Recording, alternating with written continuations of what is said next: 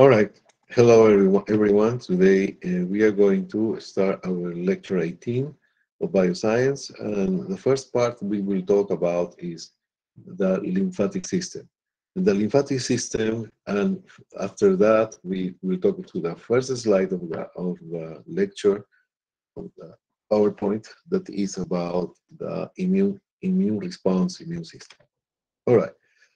So let's get started with this. So this is very important. You will learn a lot of new things together uh, today. And um, this is one of my favorite topics, the immune system. And by sure, uh, I'm going to give you uh, the nutshell, exactly what you need to know about the immune system. Again, as usual, I ask you, how much do you know about the immune system? When I ask you about the immune system, what you can tell me? When I ask you about the lymphatic system, what you can tell me, right? So what is the function? Where is located? What is for? How is forming? How is going to help us to, um, to survive? Because without the lymphatic system and immune system will be disappear a long time ago. And that is one of uh, mechanisms of defense. Basically, your body is like a country with bases and armies and weapons that are ready to fight the enemy that is the bacteria, viruses, or other parasites. Okay? So let's get started with the immune system. Uh, you will learn this in class uh, today. Uh, who is more susceptible to have uh, problems with the immune system? Elderly people, very young people, sick people, malnourished people, and you will correlate that with a class today. All right, so let's get started. And the first part, we will talk about the lymphatic system. Talking about the lymphatic system, uh, I would like you to make the comparison of this. Highway 101 is going to be the, um, the arteries. Highway 280 will be the veins and El Camino Real will be the lymphatic system. Okay, so the lymphatic system is a pathway of something running through these vessels. So as well as arteries and veins, the lymphatic system, the lymphatic system is going to be another pathway where they are going to run some substances. Number one. Number two, arteries and veins are going to carry blood. The lymphatic system do not carry blood. Okay? The lymphatic system, what is going to carry is that lymphatic fluid. There is not even one red blood cell there. So El Camino Real is just clear water. The arteries and the veins, 101 and 280, are blood running. Those are the cars. Okay? All right, so that is the first thing.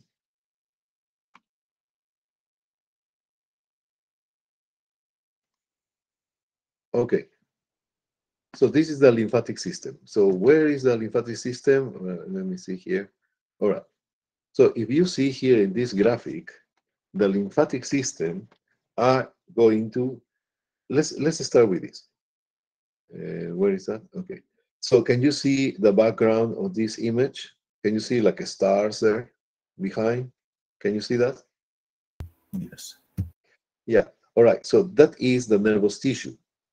But this is just an example because this is the, the neurons that are behind as a graphic, but it can be the liver, it can be tissue of the spleen, the pancreas, the, the muscles, the, uh, the brain, the, uh, can be the heart, right? The brain has nerve, nerve, nerve cells, right?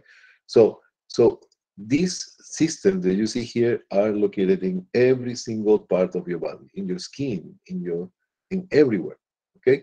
All right, so now here we have the artery. This is the artery. And the artery is going to turn into a small vessel, a smaller vessel. I mean, uh, the more the arteries divide, the smallest diameter the arteries are going to have.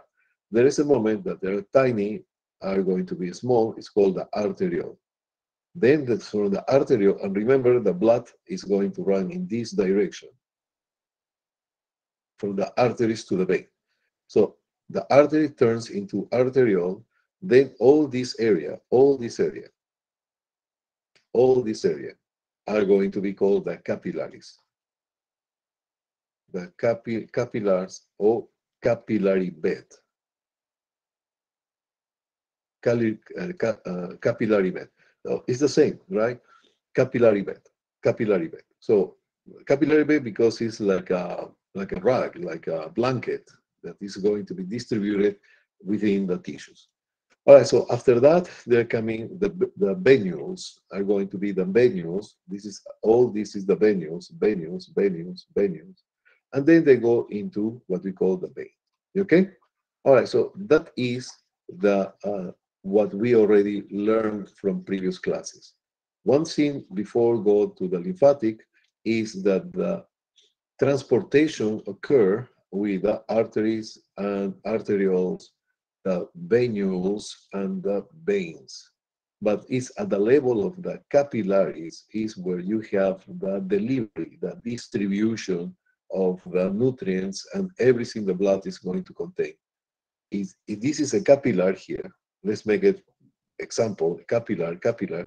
These capillary are going to have only one layer, that is the endothelium.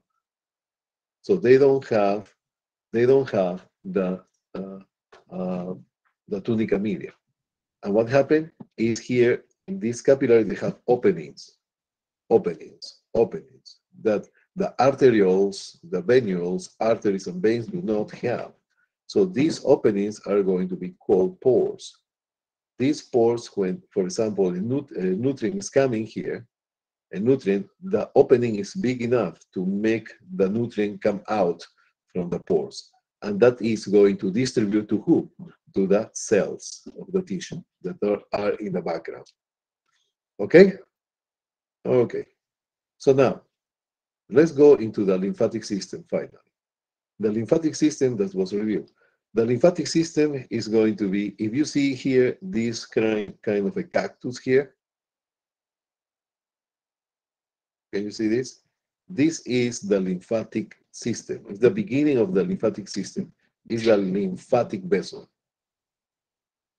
Lymphatic vessel. Before we go uh, more deeper, uh, the lymphatic vessel, what is what is the lymphatic vessel form uh, of? What is that? So if the lymphatic vessel is a vessel, the artery is a vessel as well. The vein is a vessel as well. So what is the difference or what is the similarity between them? All right, so arteries, veins, and lymphatic vessels, please pay attention. They have the three layers, three layers, all of them. Lymphatic, arteries, and veins, they have the three layers. That means the endothelium, tunica intima or uh, tunica interna. The other one is the tunica media. And the other one is the adventitia or outer layer outer layer, right? It's called the actually adventitia or outer layer of the or external layer of the vessel. Three layers. So arteries, veins, and lymphatics, they have three layers. Number one. Number two, the lymphatics uh, are going to be are going to have valves. Are going to have valves. That is telling you something already. So the lymphatics have valves, similar as the veins. And why is that? Why do you think the lymphatic vessels are having valves?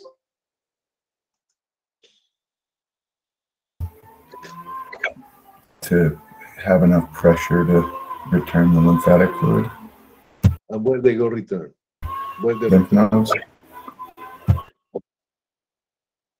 Okay, and then, all right, so the valves, very good. The valves are going to be present in the lymphatic vessels why? Because the lymphatic fluid flows against gravity. You got it? So that means they go from your feet to your heart, in direction to the heart. And where they are going to drain, we are going to see that in a few moments. So, but that is important. The lymphatic vessels have valves because they go the flow is going to go from your feet, from your leg, from your upper extremities towards the center of your body, towards the heart, to the area of the heart. I say the area of the heart because there is more specific. Okay, we, we okay with that? Okay, so number one, and number two, number three. Number four is going to be this. Question for the exam already, yeah? This lymphatic vessel, this lymphatic vessel is in green, like a cactus, right? So this lymphatic vessel, this area that I'm showing you here is going to be seen in close up here, this area. This is like a finger like, uh, like a finger glove like. So basically it's a cul-de-sac, cul-de-sac, cul-de-sac. So that means that there is a, a street without exit, right? So that is exactly what is the beginning of the lymphatic vessel. So more, where is going to start the lymphatic vessel? Between the capillaries. That is the beginning of the lymphatic vessels.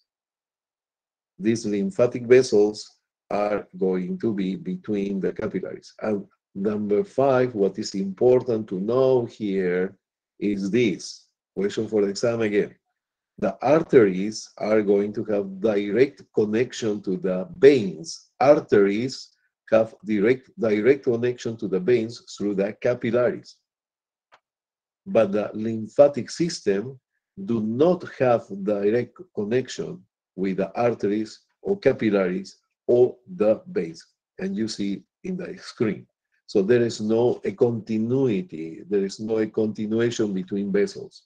So Artery continue with the arteriole, continue with the capillary, continue with the venule, continue to the vein.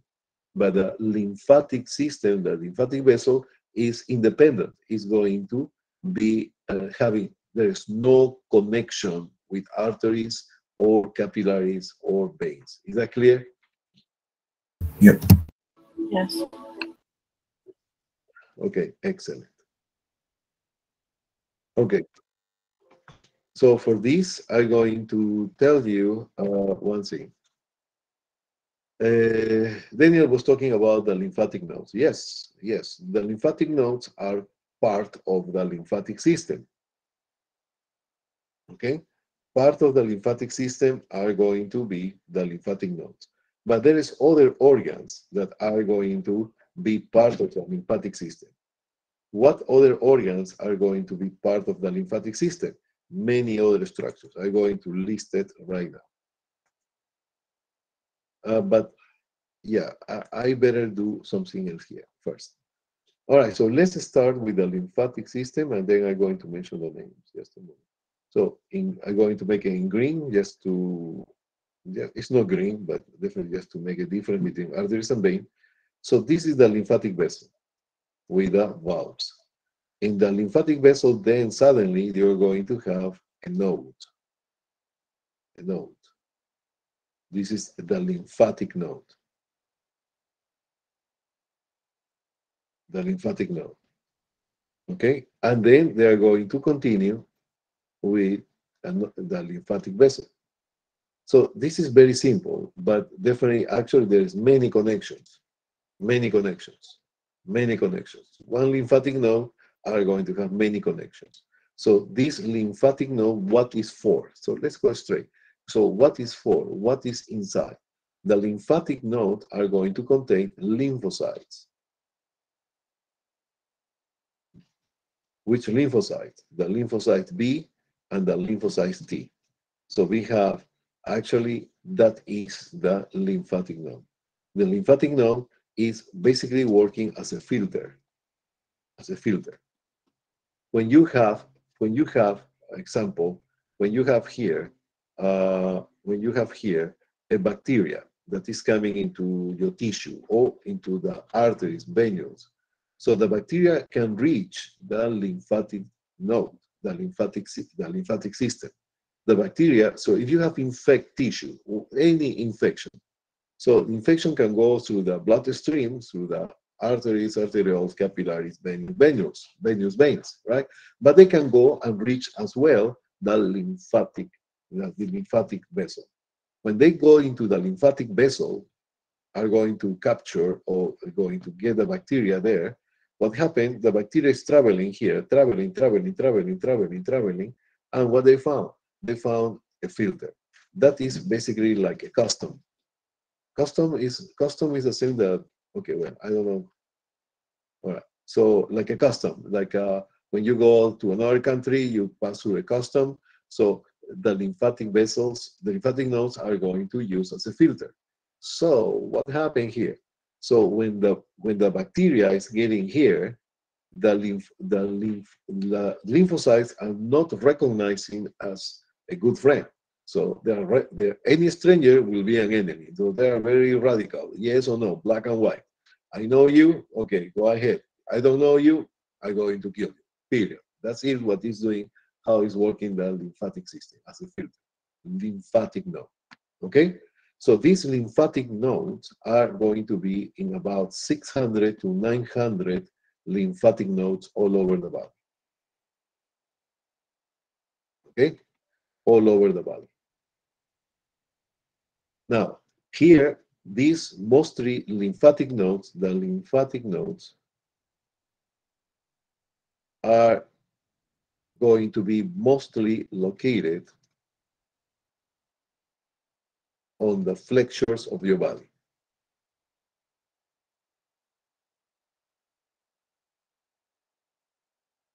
So I prefer to say in the knee, on the uh, elbow, on the uh, ankle, on the armpit, on the neck, flexures. So everything that where you flexure your, your body, that is the most numerous lymphatic nodes that you have. For example, tell me when you have when you have when you have a cold, a simple cold, do you notice that appear some kind of balls here on your neck? Like a small round nodules? Yeah. Right? Yes. Okay. All right, so listen to this.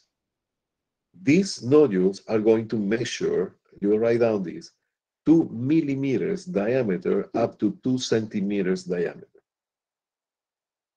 So less than one inch. Three quarters of an inch, it's about, just to give you a better idea. So two millimeters, two mm up to two centimeters.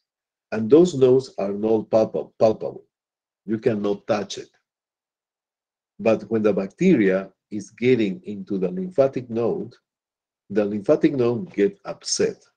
So they start to produce a lot of lymphocytes, B and T. So they are going to clone the soldiers, a lot of clone, clone soldiers when the bacteria get in contact with the lymphocytes in the lymphatic node. And what happened? The lymphatic node start to get enlarged. Going to work harder and start to start to get bigger, bigger, and bigger. So that is when you can tell that some nodes or small balls, right, are going to appear on your neck, right, or in your armpit, correct? Correct? Okay. So now this is very important, okay? Very important what I'm going to say. Cancer cells, cancer cells are actually a cancer no, was at the beginning was normal cells who has a mutation. So all cancers have a mutation. What means a mutation? A mutation means that the, the sequence of ATCG are changing. So the recipe of the protein is different. So what is the result? A different protein. So this different protein is not recognized by the body as your own protein. So cancer cells become an enemy. So cancer cells are being in fight, in war with the lymphatic system, with the lymphocyte. You okay with that? Is it clear? Is clear that? Yep, clear. Yeah. Okay. So now, so that's why when you have uh, somebody, uh, a uh, person have some cancer, uh, any cancer, right? So the uh, the cancer cells can start traveling to different places of the body and that is going to be cut by the lymphatic nodes. The lymphatic nodes are going to recognize and start to get swollen, get bigger. So, for example, when you have, when somebody have cancer, uh, uh, what is the diagnosis of cancer? The diagnosis of cancer is not X-ray, it's not MRI, it's not CT scan. And this, uh, this, uh, uh, but the diagnosis of cancer is that biopsy. Write down this, please. The diagnosis of cancer is always that is that biopsy. Biopsy. There is no other way. So listen to this very careful. There is no MRI, CT scan, PET, or whatever other imaging tools, ultrasound, cannot make a diagnosis. What this is going to do is a suspicious of diagnosis, but a confirmation of diagnosis is through biopsy. Is that clear? Yes. So the question is, the question is, why a person who has cancer are going to give, we are going to give them a CT scan or MRI, CT scan basically. Why? Because we want to know if this cancer is being spread out in different areas. If you have lymphatic nodes that are involved in different parts of the body, that means that cancer can be spreading out. So that's why you want to map with a CT scan where are these invasions. Because why is that? Because we can classify cancers in stage zero, one, two, three, or four. And each stage they have different protocol of treatment. Okay? All right. So that is about the lymphatic nodes. So lymphatic nodes, imagine you're traveling through El Camino Real, and in the middle of Camino Real, there is a rest area where actually the police and all the all the guys are waiting just to check for your documentation and just the rest area. So then you can pass. If you are a stranger, the police is going to take you, right? So that is what happened with the lymphatic nodes. You okay with that? Yep. Yeah. Okay. Now another thing. What is happening? What are the functions of the lymphatic vessels? Uh, before that, what I was telling you is the lymphatic organs.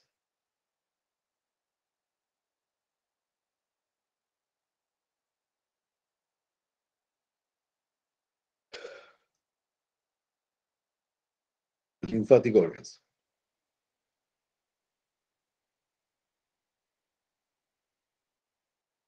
Number one are going to be the tonsils. Number two are going to be the adenoids. Number three is going to be the spleen. Number four, we are going to have the appendix. Number five is the uh, intestines, the mucosa. The, there's lymphatic nodes called the Peyer's patch. Peyer's patch in the intestine. How is that? This is the intestine. This is the intestine. This is the wall of the intestine. And the lymphatic nodes are immersed in the walls of the intestine. Those are filters. Whatever you eat, there's some bacteria that can survive after. Most of the bacteria is being killed by the gastric acid. Okay, because bacteria, remember, doesn't like acid. Okay, so but still, if you have a big number of bacteria that you've been eating, some bacteria are going to be killed. Or say the majority of bacteria will be killed, but some of them are going to still pass into the GI tract, and they are going to be absorbed. And instead to go to the bloodstream, go to they are going to be captured by the lymphatic nodes. These lymphatic nodes are going to destroy the bacteria. So that is called the Peyer's patch, the Peyer's patch. Okay. Number six, we have the thymus. The thymus, that is a very important organ, especially in early stages uh, of uh, development. And let me see if I forget something. Uh, basically, that. What are the adenoids? We will see that. So it's not only just uh, so what is a tonsil? Tonsil is a group, a tonsil is going to be like this, right and left, but they have actually a group of lymphatic nodes here. So that is what is actually the, the tonsils. The adenoids the same, the same way. Appendix, Peyer's, spleen, thymus. So they have packages of lymphatic nodes. Okay? All right.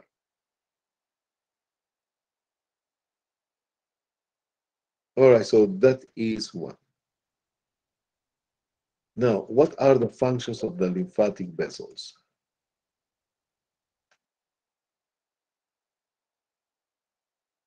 Functions of, I'm going to say lymphatic system, sorry, lymphatic system. Lymphatic system. Number one is going to transport. Transport basically fats, some proteins. Number two are, are going to be the location and the uh, uh, are going to be the uh, transportation and location location of the lymphocytes.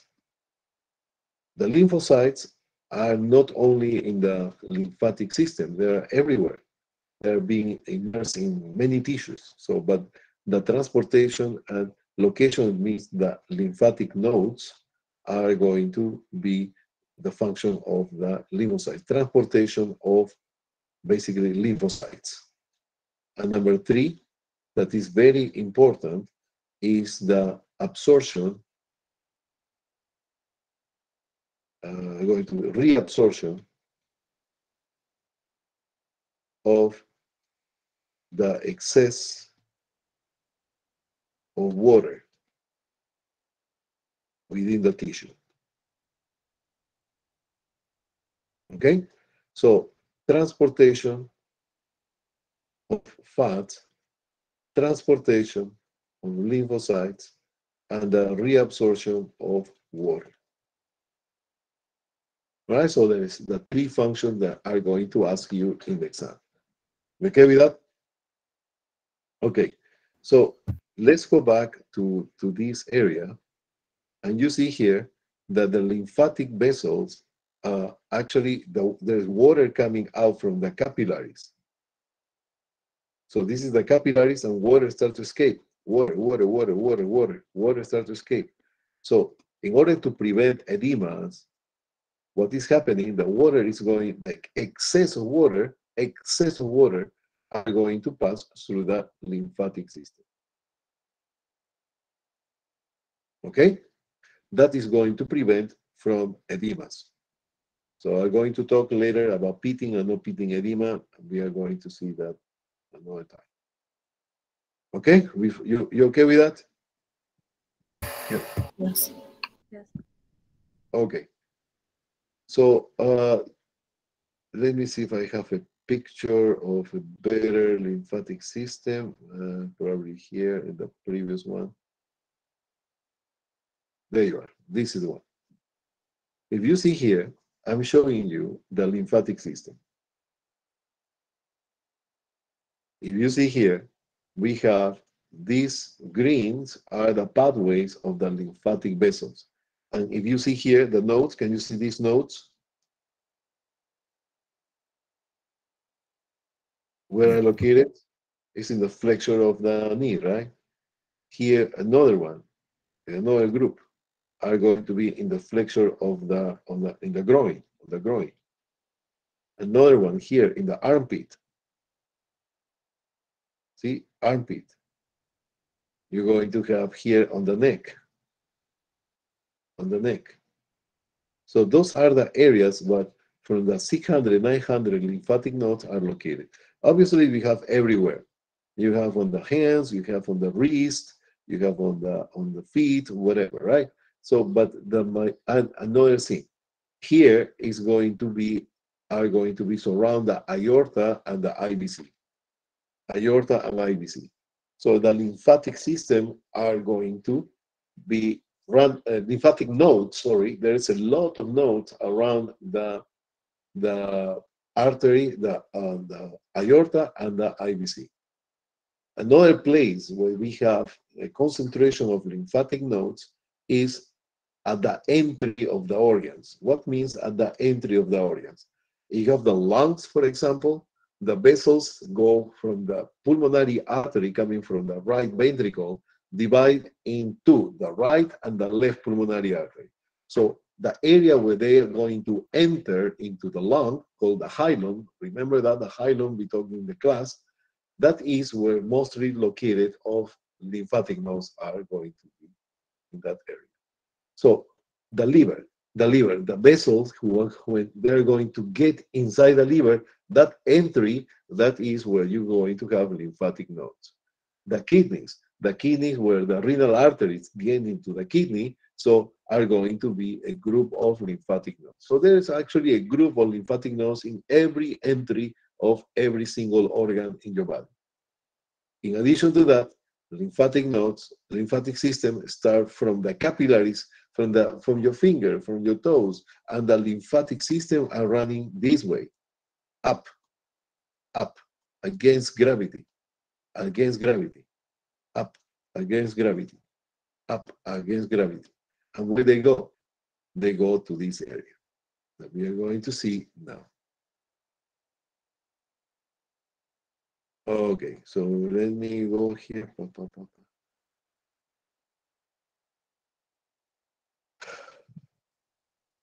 All right, so this is the same. All right, so number one, I want you to remember this. Can you see this green thing here, They're coming around? All the way up, up, up, up, up. They go all the way up. So they are going to, the lymphatic system are going to collect the lymphatic fluid what is the lymphatic fluid? Lymphatic fluid is water, electrolytes, fats, some proteins, and just water, right? So that is, there is no red blood cells at all in that lymphatic fluid, except for one organ. We are going to see that later. So this is the lymphatic node. There you are. This is the lymphatic node. So these are arriving. So we have, well, there's some vascularization as well. But the lymphatic, because it's tissue needs oxygen and nutrients, but the lymphatic is everything in, in green, the lymphatic node. So every the lymphatic fluids come in this way and get into the filter of the lymphatic node, and then they go out. They go out. They go out. They go out. Okay. All right. So now, if you see here, I'm going to take this picture. Sorry for for that. I kind of organize this. I should start with the first. I had a quick question. Go ahead. Um, so you know how you were talking about um, the size of the lymph nodes. So does it only get inflamed once it's exposed to the bacteria, or is there other causes of it? Cancer cells. Cancer cells could be viruses, can be bacteria, can be fungus, can be parasites, can be cancer cells. Okay? Okay. That's okay? Yes, thank you. Okay. All right, so now, if you see here, the lymphatic vessels are going to uh, are going to drain the fluid from here, collecting fluid, collecting fluid, collecting fluid, collecting fluid, collecting fluid. And where they go? Lymphatic fluid are going to go here. Look at this. This is the heart. This is the heart. This is, as you already know, for anatomy, for a portion of anatomy, this is the heart, this is the right atrium, this is the uh, right ventricle. So the right, the, the right atrium is receiving the blood from the IVC. And, uh, and here we have the superior vena cava. Super, there you are. Superior vena cava is this the superior vena cava. That is the superior vena cava. Where is going to drain? Into the right atrium. Okay with that? Okay. Now, here, I want you to remember this graphic because it's very important. Who is forming the superior vena cava? Who is forming the superior vena cava? The superior vena cava is going to be formed by two main vessels. One is this one. Uh, I'm going to put in black, I guess, This one, that is the subclavian vein. Subclavian. All this is the subclavian vein. Subclavian. Another one, subclavian vein here. So anatomical position, your right hand in front is the left. My left hand in front is the right. So this is the right subclavian vein. All this. This is basically, the blood is running in this direction. In this direction. And these right subclavian vein are going to collect the blood from the whole upper extremity. Upper extremity. So that is where it's running the uh, uh, the blood of the subclavian vein is going to bring or take the blood from the upper extremity. Okay, so this is the subclavian vein, the right subclavian vein, and here we have the left subclavian vein here. This right and left subclavian vein are going to join together with this vein you see here. This is the jugular vein. More precisely, the internal jugular vein, IJV. It's very important because there are many assessments that you're going to do on that later on. Simple, it's not that, that difficult. Internal jugular vein. So the internal jugular vein are going to come here, bringing blood from the neck and head, head and neck, head and neck. So the head and neck blood return are coming through the internal jugular vein. The internal jugular vein, internal jugular vein, are going to join with the subclavian vein from each side, and they are going to form two branches, this and this. So remember, we are not talking about the opposite direction because the, we are talking about, we are following the blood flow the blood flow, the blood flow. The blood flow coming from the head and neck through the through the internal jugular vein are going to join together with the blood coming from the subclavian vein, the blood coming from the upper extremity. These two uh, important structures, one and two, this one are going to be called the brachiocephalic vein. Brachiocephalic vein the brachiocephalic trunk, somebody we call it here, right? So the brachiocephalic trunk or vein it is the same, right? So BCT. So we have the right and the left brachiocephalic trunk. This right and left brachiocephalic trunk or vein are going to join together to form the superior vena cava. Superior vena cava. This is important to know, please. So you must know this very well, okay? Because there's some catheterism that you're going to need to know the pathway of the blood flow. All right. So make a recap here. So we have here the, the right atrium that is coming, uh, forming the superior vena cava. Superior vena cava is formed by the two brachiocephalic veins two brachiocephalic veins, one and two, and each brachiocephalic vein is formed by the confluence of the internal jugular vein and the subclavian vein. And another pathway, we have another way is internal jugular vein plus subclavian vein give the brachiocephalic vein.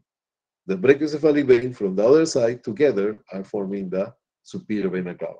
And the superior vena cava are going to drain into the right atrium. ¿You okay with that? Yep. Oh, oh, we okay? Erin? Marcel? Yes. Yep. Marvin? We okay? Okay, so now knowing that, that is the base of what I want you to know. If you see here, can you see, somebody notice here this green line here?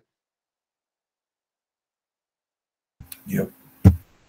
There is one here and another here. This is not. This one here. It's not showing here. So this green that you see here is what you're suspecting. That the lymphatic system that is coming from the lymphatic fluid that is coming from your feet, your legs, your hip, your abdomen, everything, internal organs, where they are going to drain. They are going to drain into the subclavian vein in both sides.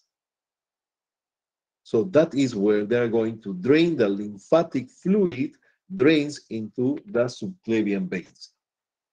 The lymphatic fluid drains into the subclavian veins.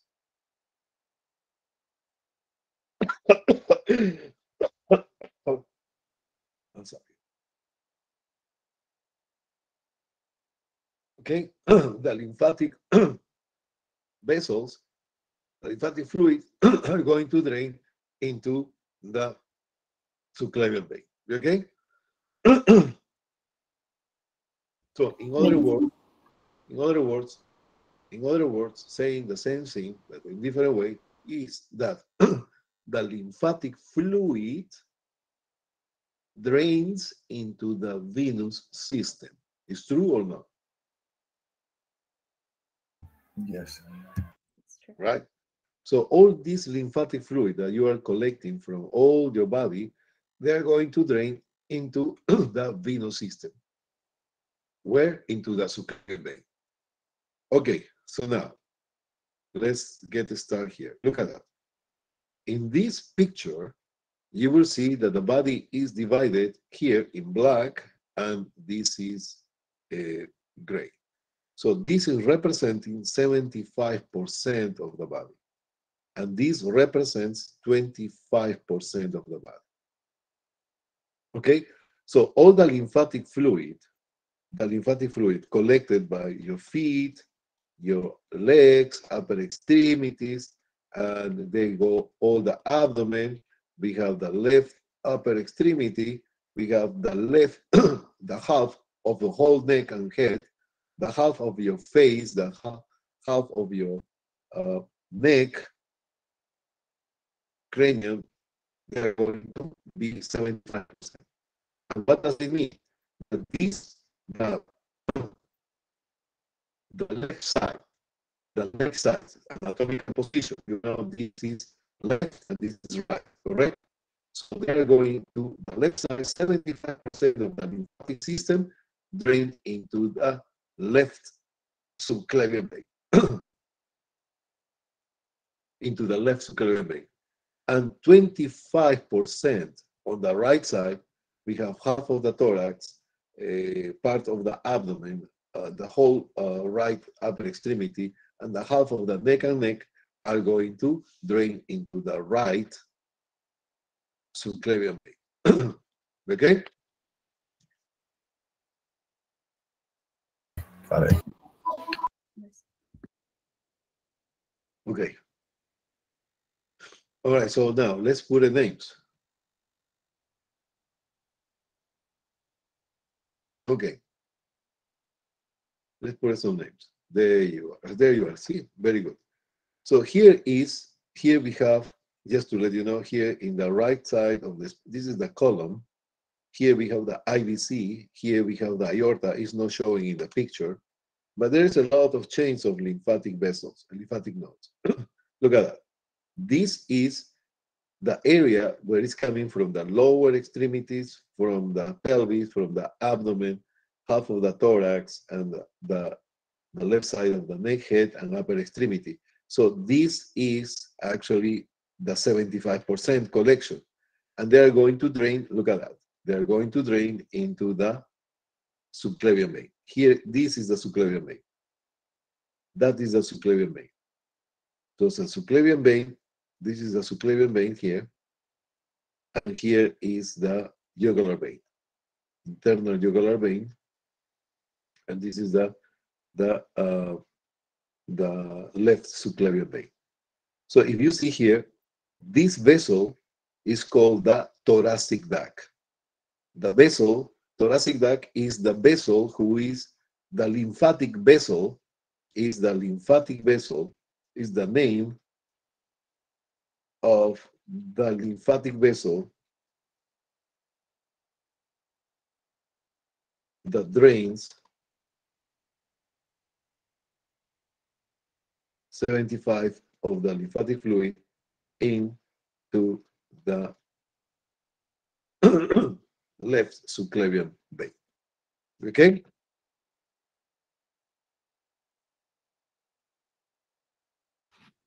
But um, Dr. G. Yeah. Why is it that the left side gets seventy-five percent and then the right only gets twenty-five? That is a good question. I think that God made us like that. I don't know, really. It's a good, interesting question. Because probably, uh, I, I- I don't know why the right and left, why God choose the right and the left. It's a good question. I'm going to check on that. Is there some advantage to have it on the right or in the left? I'm not sure.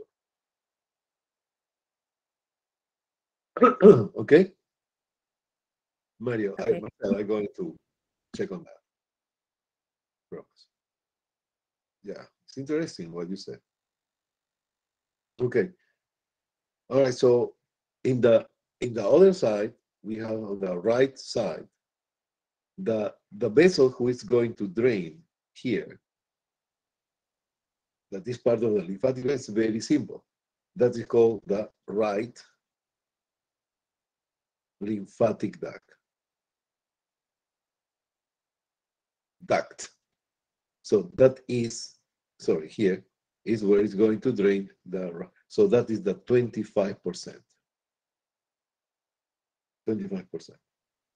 So this vessel who's coming here is called the thoracic duct or is called to the, very simple, the left lymphatic duct.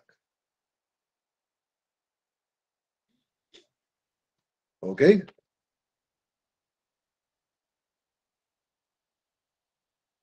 So if we go our picture again, there you are. So you can tell me the lymphatic system functions are going to collect the to absorb the excess of water from the tissue, transportation of the lymphocytes and location of lymphocytes, and the transportation of basically fats, fats, fats, and actually some proteins. 75% of the lymphatic vessels and lymphatic fluid are going to drain into the thoracic duct. Where is draining the thoracic duct? In the left subclavian vein. The rest 25% are going to drain through the right uh, lymphatic duct into the right subclavian vein. Okay? Got it. Yeah. Okay. All right, so I think we are going to talk about some the applications that we are going to we need to uh, to go over, and I think you deserve a break. All right, so let's do. Tell how much you want. Uh, uh, oh, two hours break, one hour, half an hour, ten minutes break. Oh, oh, are you there? Yes. Help us. 10 minutes? Oh, you are tired. Oh, oh, you, you, too much information? No, right? You're okay, right? Okay. You having fun, right? Okay, let's make up. fun. fun. Excellent. Okay. All right, so let's do 10 minutes, Marilyn, okay? Okay. All right, see you then.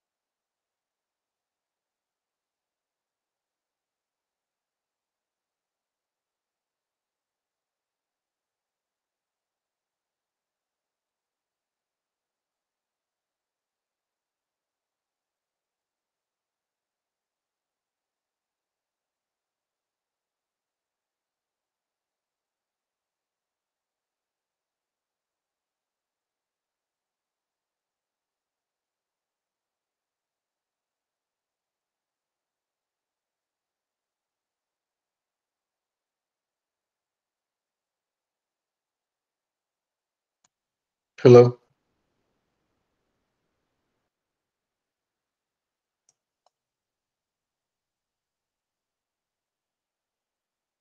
Hello. Yes, oh. I can hear you. All right, so let's get to start, right?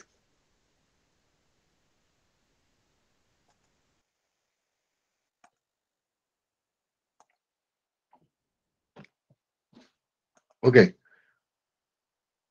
All right, so let's recap here. All right, so recap very simple, very fast. We have the lymphatic vessel. There is no connection, the direct connection with the vascular system. So we have what is inside the lymphatic uh, system, the lymphatic fluid, right? So let's see. So here we have different areas, and the group of lymphatic nodes are going to have uh, the name of the area. For example, the axillary lymphatic node or the axillary nodes. The axillary nodes. So you touch here under your armpit, you touch the lymphatic vessels, right? So if you don't, uh, I, I, told you it's two millimeters to two centimeters that they cannot pulp, be palpable. Normally they are not palpable, but when they are enlarged, yes, they can be palpable. Okay, all right. They also show how the lymph gets filtered by the lymph nodes and other lymphatic organs. For example, we have the tonsil, we have the adenoids, we have the spleen, we have the Peyer's patch. Peyer's patch, by the way, is something that Mr. Verdad uh, in MedSearch, they love to ask, okay, the Peyer's patch. Okay, the lymph move through the lymphatic vessels. It's, it's all news. Pushes by the skeletal muscle. So the same thing the same principle that the veins are going to uh, uh, move the blood towards the heart, the same principle with the lymphatic vessels. Lymphatic vessels, they have a very thin tunica media, similar of the veins. So basically the lymphatic uh, vessels are very similar to the veins, to the veins. They have very thin tunica media, they have actually valves. The difference is that the lymphatic vessels have lymphatic nodes in his pathway. So lymph move through the lymphatic vessels pushed by the skeletal muscle. Remember? So yes. So do we have lymphatic vessels uh, around the uh, uh, the veins on the lower extremity? Yes. So we're going to walk contraction of the muscle that with the valves are going to uh, make move the lymphatic towards the heart. So lymph move through the lymphatic vessels pushed by the skeletal muscle and they call contract and by the pressure of the diaphragm. Say the same thing here. So the difference of pressures above the diaphragm and below the diaphragm that we discuss in the veins. Higher pressure in the abdomen area and lower pressure in the thoracic area. So basically the same principles of the blood flow of the vein. The lymph is collected by lymphatic capillaries. So the cul-de-sacs that we, the cactus that we saw in the, in the previous slide, into larger lymphatic vessels. Okay, so they are going to uh, drain and confluence of the lymphatic vessels from other lymphatic vessels, and they're going to become bigger, bigger, bigger, bigger, and the big uh, river is going to be that thoracic duct that drains into the lymphatic into the uh, into the left subclavian vein. Okay, okay with that? It's like a river, right? Like a river. Uh, what is the biggest river? The the more uh, uh, the biggest river in the world is the Amazon, right? The Amazon. Amazon is going to be Amazon River in South America are going to collect many branches of of, of branches of rivers, right?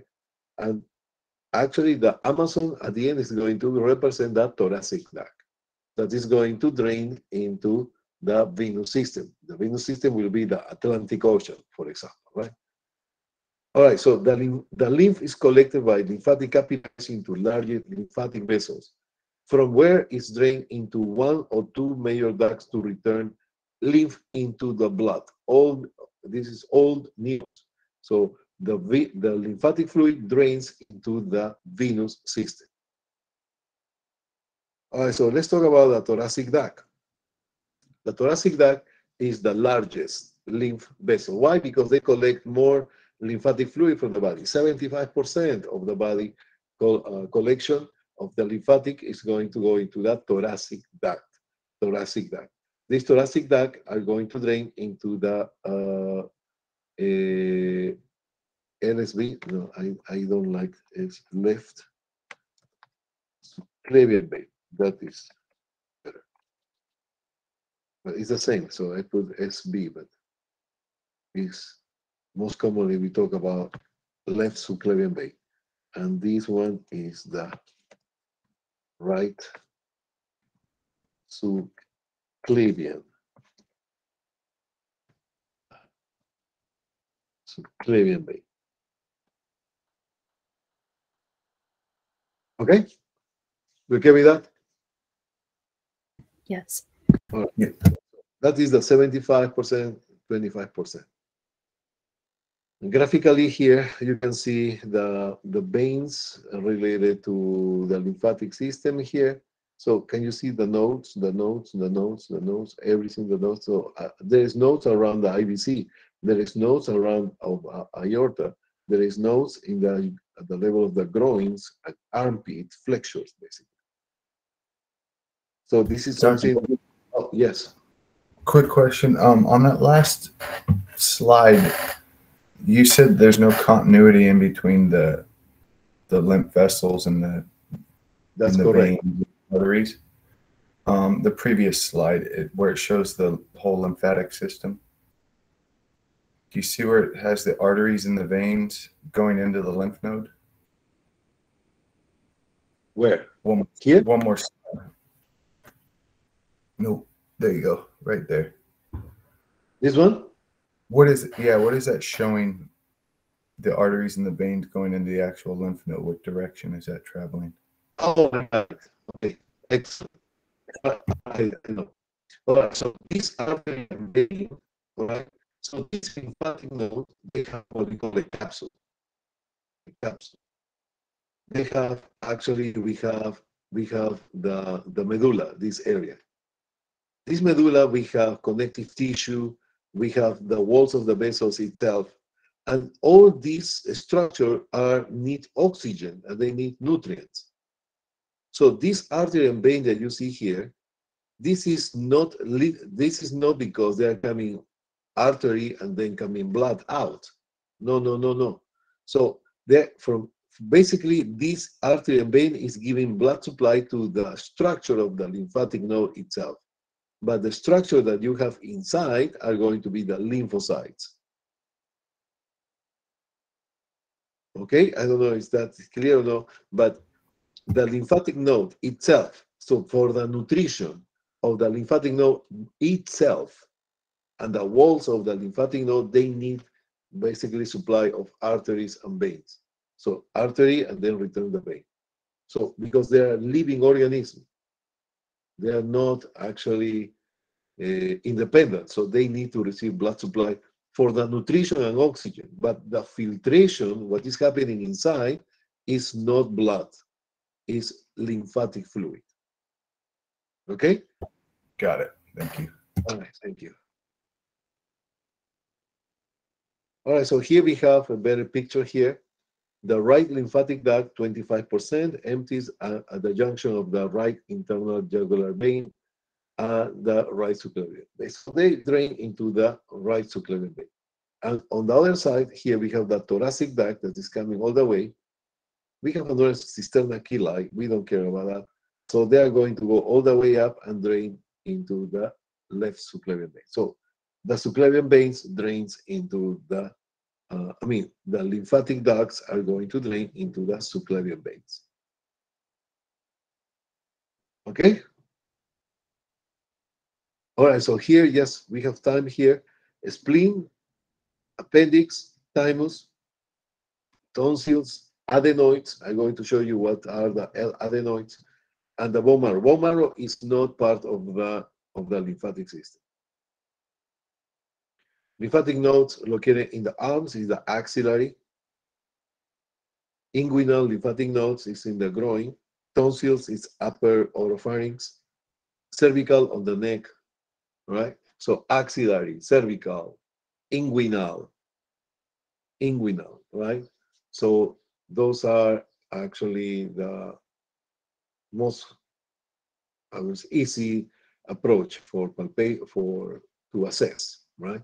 You remember that lymphatic nodes are not palpable unless unless they're enlarged, and that is because an infection was okay. All right, so here we have remember the third question is is total is telling you that there is no direct connection with the artery and vein. So that means that the artery, the arterial blood do not go into the uh, lymphatic vessel. So the artery and vein are going to give blood supply to the lymphatic node, yes, but the lymphatic vessel do not carry blood at all. Right? The lymphatic vessel are going to carry lymphatic fluid only. All right, so the lymphatic fluid is not going to be uh, red blood cells, as we already mentioned, right? Lymphatic nodes do not filter blood, except the spleen, except the spleen. So what is, what is the largest lymphatic organ on the body? Write down that the largest lymphatic organ of the body is the spleen. The spleen filter blood the rest of the lymphatic organs do not filter blood. Okay, so the one who filter blood is the spleen. Okay?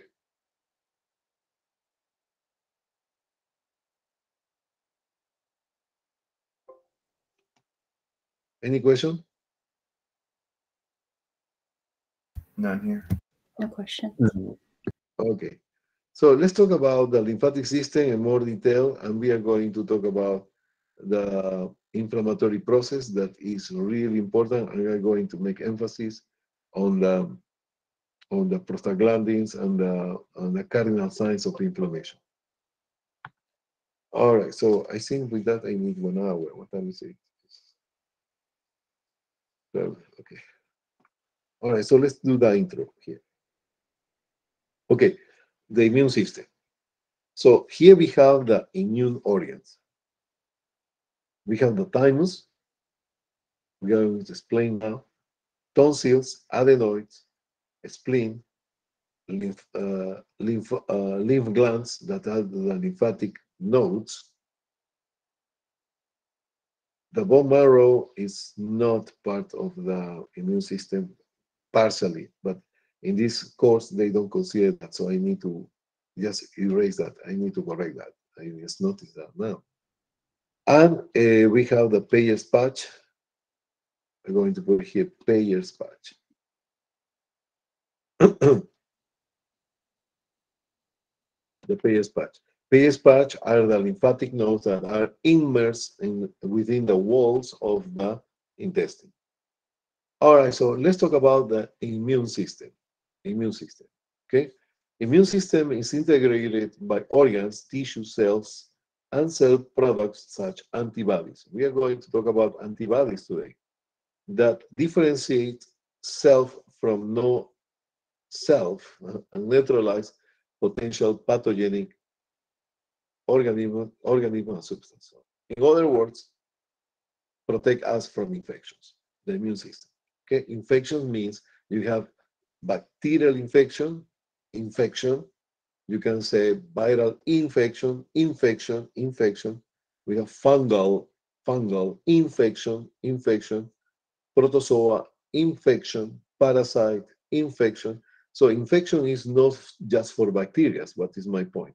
Infection can be any organism who is going to invade your body. All right, so we have immune system divided in non-specific and specific. All right, so for this, I'm going to show you here is we have the thymus. This is the thymus. This thymus is an important organ in order to uh, uh, develop some type of lymphocytes that we are going to talk today. So this is mostly located behind the sternum. Behind the sternum. It's a retro-sternal location. And this is big at the beginning. But then with the time, when you get adult, the thymus get as a remnant is going to be tiny, but it's still located behind the sternum. Okay, so let's talk about the non-specific and the specific. All right, so for this, I'm going to tell you this. Let's make a conversation here. Look at that. We are in a war. We are in a war. We are in a war. Okay? Imagine a country who is going to receive the attack of an enemy. All right, so now we have what? The borderlines, the borders of the country. The borders of the country. Imagine, imagine you are the president and you need to organize your army against the attack of some invader. So you have your country and you have the you you know very well what are the border lines, the borders of your country. In addition to that, you know that inside your your country you have different bases, different states. They have different number of bases. So what are in those bases? In those bases, what we have is soldiers, are soldiers, right? The soldiers are going to be on the inside the basis of the the basis on each state. Okay, perfect. So now, when somebody is going to attack the country, the the the the first line of defense, the first line of the first, the first, the number one, the first who are going to encounter the, encounter the enemy are the uh, soldiers who are in the borderline, the borderline, in the boundaries of the country. Correct? Okay. So what happened here? This is when the when the enemy attacking the attacking the, the country, the first line of defense will be the borderline. And who is that? You are a country. Each of you, you are a country. Your skin is the, the boundaries of your country. That is your country. And the skin is going to be the first line of defense. So what does it mean? The first line of defense are going to be basically the skin. Not only that, there is more. The skin. The skin is that is called the no specific immunity. No specific immunity. Write down that. No specific immunity. No specific immunity. No specific. Think about the name. What do you understand with no specific, uh, Eric? What no specific? What do you think about no specific? Somebody, everybody? No specific. It doesn't have like a, a an Preference. actual doesn't have a job that's designated to it. Yeah. Ex- so, excellent. So, what about if I said, uh, uh, you like, I like to eat? I like to eat? Yes, I like to eat. What do you like to eat? Oh, I'm not, I'm not specific. So what does it mean? Like I, I, need whatever. Correct? I not differentiate from A, B, C, and D. Whatever is in front of me, I eat it. Correct? That means no specific, right? So the the no specific defense, what does that mean? Is that they will not differentiate be, between enemies. So they need to they need to be enemy. They cannot recognize by the body. And this enemy it could be green, blue, black, yellow, whatever, small, medium size, big size, different shape, doesn't matter. Your enemy, enemy. I don't care if you if you do this or that, you're enemy. I'm going to kill you. That is no specific. And the skin is basically a no specific defense. Because whatever bacteria, whatever microbe trying to get into the, it's not just are going to stop the entry of Staphylococcus aureus only. No. It's going to be non-specific, So it's going to be preventing the invasion of many other bacteria, many other microorganisms. That's why it's called the no specific. ¿De qué vida? Yes. Okay. Write down this. No specific, no specific uh, uh, defenses are going to be number one, the skin. No specific defenses. Number one, the skin. Number two, what do you think? Gastric acid. Yes or no? The gastric acid. The gastric acid is going to basically kill bacteria. So when you eat bacteria, tell me, tell me, Miss Oh, when you have a candy on the floor, you count one, two, three, four, five, and you eat it. Yes or no? No, right? No. Miss Oh, you listen to me. Yes, yes. You, you don't do that, right? Okay. Why? Because there is a lot of bacteria already in the candy, right? But you're still eating. The bacteria is going to be, for example, uh, make it like 1,000 bacteria. You eat that, most of the bacteria will be killed by the by the gastric acid, the first line of defense. So it doesn't matter if this is bacteria, it's A, B, C, D, whatever, whatever bacteria is. But if you have two more than 1,000, let's put it 1 million, it's a big difference, right? The first line of defense is not enough to stop the invasion. It's going to kill most of them, but some of them are going to still go in his pathway. Okay with that? Okay, so number one, skin. Number two, number, two is the gastric acid. Number three, uh, uh, is going to be the, all mucosa of the respiratory tract. Respiratory tract mucosa. Respiratory tract mucosa. That is the first line of defense again. Uh, sweat, sweating, sweating, sweating. They have antibodies. Sweat are going to have that. Uh, genitalia uh, secretions. Genitalia the mucosa of the genitalia, the mucosa of the oropharynx, of the mouth. First line of defense will be the conjunctiva of the eye. Hair. See, nails. Those are first line. So everything that covers your body from out to in. The, what is the tube here? The nose, the mouth the genital area. So all these areas are going to have the first line of defense. So you can tell, for example, the vaginal area, the vaginal area is acid. Is acid. Is acid. This acidity is made of in order to prevent the growth of bacteria. Because one more time, I was telling you, the bacteria hate acid. Hate acidity. So they are not going to survive or reproduce in acid. So that is the first line of defense. You okay with that? Then, what happens if the barriers are not enough? What happens if the enemy are like a, uh, the D-Day, D-Day, right? Very nice. Well, no, it's not nice. I'm, I'm very respectful for that. I'm thankful, thankful for that. The, the D-Day, they was breaking down the, the first line of defense of the of, of the enemies at that time, correct? And then they go inside, correct? All right, so well, it's not a good example because we are not an infection. Anyhow, whatever.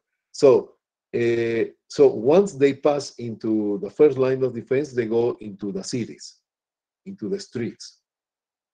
And here, when it's inside the body, there's another group of cells who are going to participate in the defense of your body.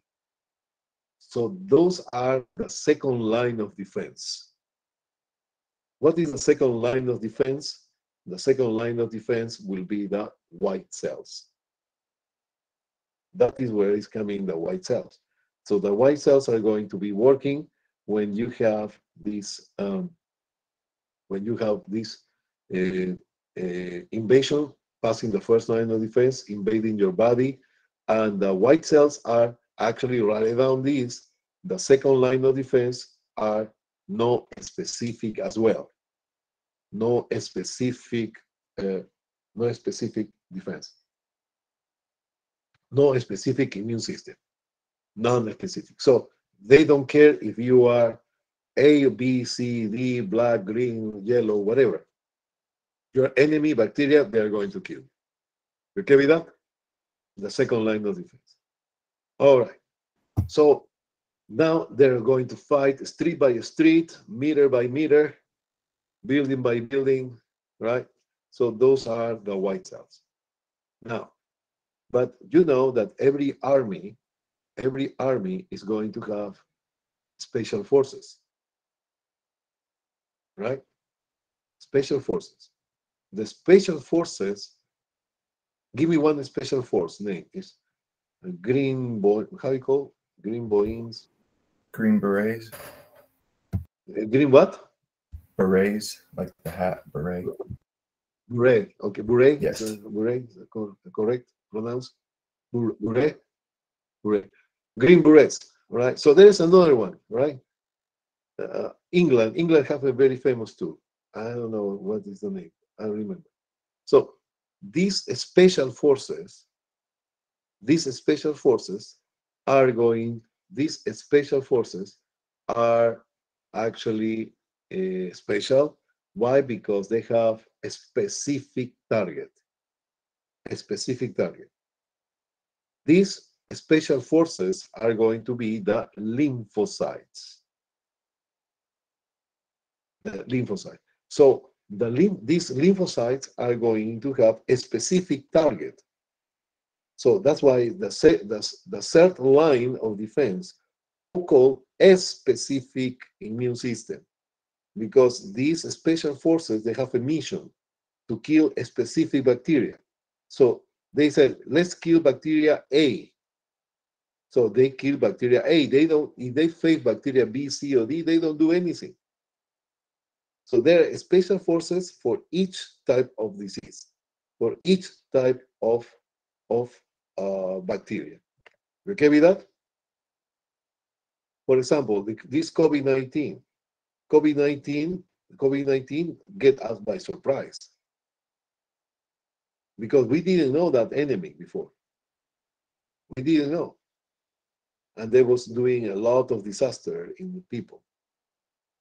Right? So, and because the special forces are not going to be like magic. Write down these two. The the special forces start to respond in about two weeks. Two weeks from the first encounter. Two weeks. That is our window. Two weeks. Two weeks. It could be nice to react faster than that, but it cannot.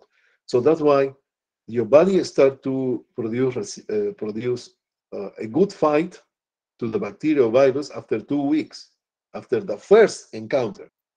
Not the second. The second encounter is going to be immediately because the first encounter is like an enemy coming with a new weapon and you don't know what weapon was that. So they kill a lot of us. But with the time we learn about the weapon and it's taking us some time to prepare to fight against that weapon and that time is taking two weeks. So that's why when you have covid-19 covid-19 you start to produce these uh, defenses after two weeks. But what is the problem? In two weeks, you can be dead because your body was not prepared to fight against this COVID 19. So the vaccines are going to do that. They're going to give you an attenuate uh, organism that is uh, actually a part of the virus but is not active and the body respond to that. So that can create a weapon. And when you have the COVID-19, you can get the COVID-19 being vaccinated. Your signs and symptoms are going to be very minor because you are fighting from the from the day zero. From day zero, you start to fight.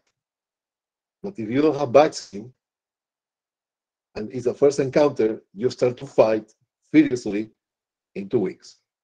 But between one and two weeks, the virus are going to make a lot of destruction. Right, Miss O? Miss O. Okay, Miss O. Yeah. Okay, dear. All right, so it's clear, Miss O, right? Clear like a water. Okay. Okay, Miss O. All right, so that is the third line of defense or no or or, or, or specific. Okay? So that is the general term. That is the general thing. So we don't have more. But now we need to talk. I'm going to talk to you about each of them in the next hour. So, in conclusion, we have the we have the non-specific and the specific immune system. That's all. The non-specific will be the first line and the second line. Who is the first line? The skin, the mucus, right? Second line, the white cells.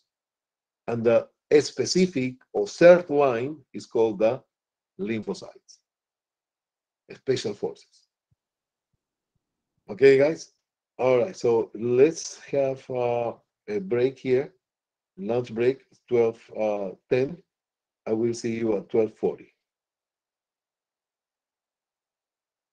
1240, we okay with that? Okay. Any questions so far? Is everything clear? It's getting interesting? No? So, okay. no. It is. Hopefully, yes. All right. All right. See you then.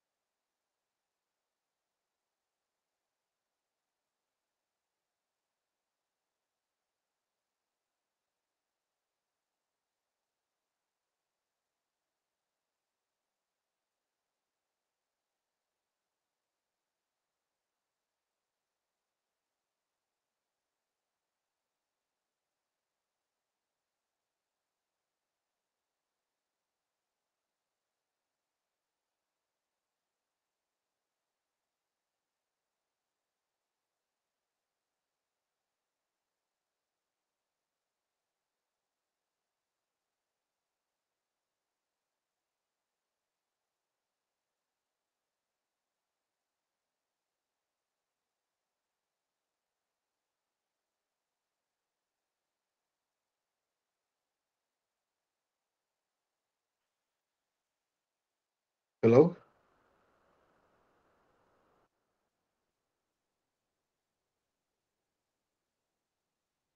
Hello?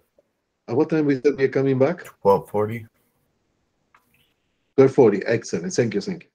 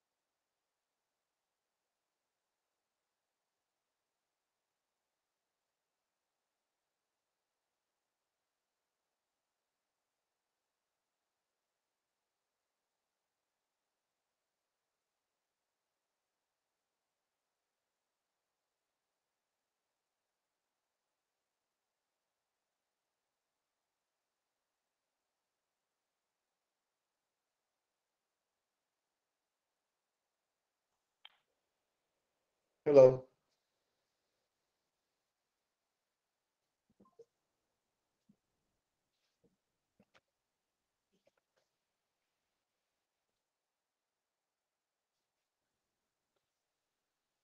All right, so let's get continue here. We are going to continue with our lecture. All right.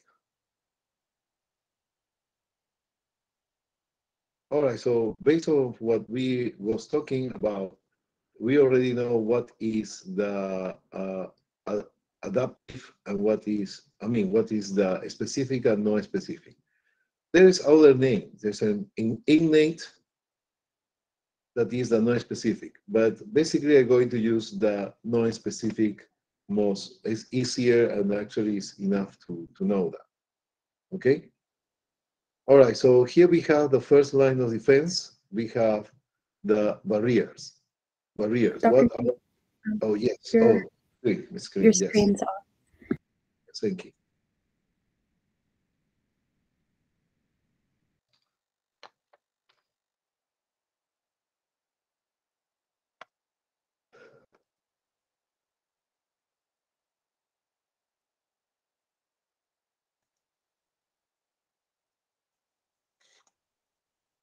Okay, so let's talk about the non-specific. The non-specific have two levels. The first line of defense and the second line of defense. The first line of defense are going to be the, uh, the barriers. The barriers are going to be the skin, the mucosas, the respiratory tract, the lining of the stomach, so the genital area, the conjunctiva are going to be the eye, right? Are going to be the first line of defense. Hair, nails, etc. So everything that covers in your body are going because hair how is going to basically uh, stop the stop uh, is going to delay the attack of the bacteria or microbes into your skin, for example, right? So every all that is covered in your body, that is the first line of defense. All right, so the specific defense are going to, be the, by the way, uh, second line of defense, just to finish here, internal defenses, those are the bases that we have in our country. And that are the soldiers who are the actually the white cells. The white cells are going to uh, comprise the uh, the neutrophils, eosinophils, monocytes, and eosinophils. Uh, the lymphocytes are part of the white cells. The lymphocytes are part of the white cells. But the lymphocytes, uh, in this classification, we are going to classify as a specific defense.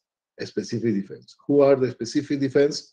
Are going to be the the what the the lymphocytes. All right, so talking about specific defenses, we have humoral and cellular mediated uh, immunity.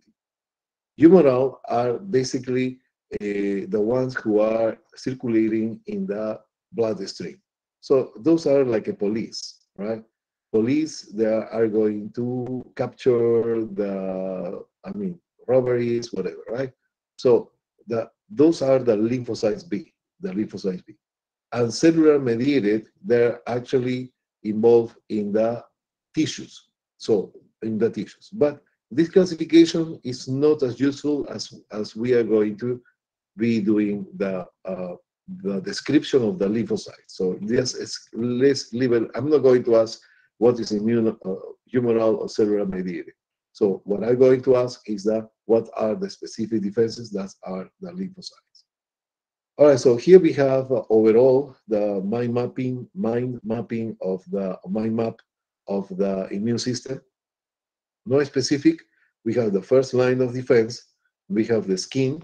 We have the mucus that is located in the GI tract and the respiratory tract, in the oropharynx, in the genitalia, genitalia area, are going to be the mucus. Mucus. Remember when I said mucosa, mucosa is the lining, is the lining of the tissue of the of the structures. Mucus is the secretion. Okay? For example, you have a cold, you have mucus in your nose, right? So the mucus on your nose is produced by the mucosa of your of your of your uh, tissue. ¿De qué vida? Tears are going to be part of the uh, no specific tears, crying, yes. Sweat as well. Hair, cilia, including the nails, stomach acid. So those are the first line of defense. The second line of defense, we are going to have the inflammatory response that we will talk about in a few moments. Uh, this inflammatory uh, inflammatory process is the process where all the bases and soldiers are going to be activated in order to go out of the uh, uh, of the go out from the tissues to the to the blood inflammatory response we are going to explain that in a few moments interferon interferon is um, um, a communication interferon is basically like the alarm the sirens siren that is going to give you the alarm where they're going to uh, uh, uh, trigger out the inflammatory response. Fever is part of the second line of defense. Why? Because fever is an elevation of the temperature. This elevation of temperature is needed because that temperature is going to produce vasodilation. vasodilation, the vessels become bigger, so there is more blood flow and that is going to lead into the bases go into bigger highways in order to get to the place to fight. And we have the specific, the B cells and the T cells that we are going to explain that. Lymphatic organs, the most, uh, let me see if I have here tonsils. No, I don't have tonsils here. So probably it's important to know where, to tell you where are the tonsils. Okay, lymphatic organs. Spleen is the largest lymphatic organ, so you need to take note about that. Appendix is a lymphatic organ as well. The appendix function is not known, basically. Okay, the appendix is is think we think that is a remnant of our evolution. Uh, the appendix, uh, there is no very well uh, known what is one uh, specific function of the appendix, but we know, for example, and that is kind of curiosity, that animals who eat a lot, uh, for example, of meat, like lions, like tigers, etc., they have a largest appendix. So we don't know what is the actual function. In humans, are going to be a remnant. The appendix, one of the functions that we can tell is that they have uh, uh, in the walls of the appendix, you, you know, appendix is the, the projection of the cecum that is part of the ascending colon of the colon. And the walls, in the wall, within the walls of the appendix, are going to be immersed some nodules that are going to work as a lymphatic organ. Thymus. Thymus is a very important uh, structure because that is going to work basically with the lymphocytes, and we are going to explain that in a few moments. Tonsils. Let me find a picture of tonsils. I should put tonsils here. Adenoids, sorry, adenoids. You know what is the, what are the tonsils that adenoids probably know. Command machine.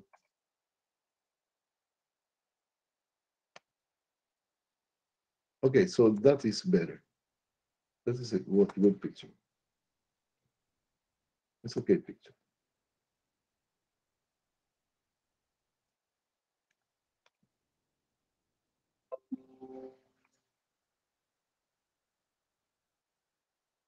What is this? Pick a time. Tonight I cannot because of class. What is this?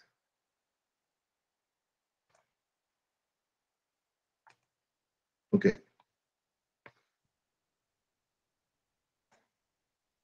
All right, so here we have uh, we have the tonsils here. The tonsils is what you see tonsils. It's when you see open your mouth and you see two main structures on the side, side by side of your throat that are actually the tonsils. The tonsils are a package of lymphatic nodes. Here we have the adenoids. You open your mouth, you cannot see the adenoids. Why? Because this is the palate. You open your mouth. This is the palate. This is the uvula, the one who uvula. You know what is uvula, right? Yeah. Uvula, uvula is like uh, you talk is like going like a bell, right? So and above that, this is the nasopharynx. This is the nasal cavity, and here, actually, on between the nasopharynx and the oropharynx, there's going to be a, a, a gland similar as the tonsils that is called the adenoids. The adenoids can produce so they can produce a problem because sometimes when you have a swollen adenoid, they're going to block. They're going to totally block the airway.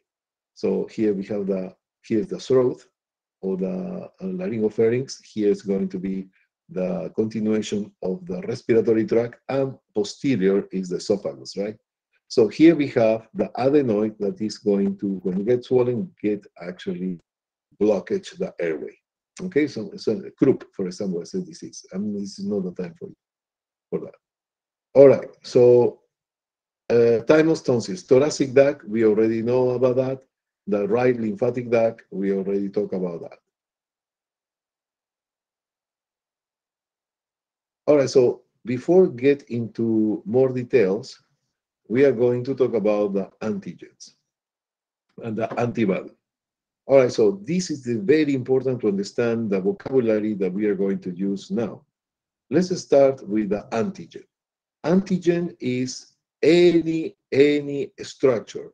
It could be bacteria, it could be a virus, it could be a protozoa, it could be a fungus, it could be a parasite, it could be uh, any uh, foreign body, like for example, a metal under your skin.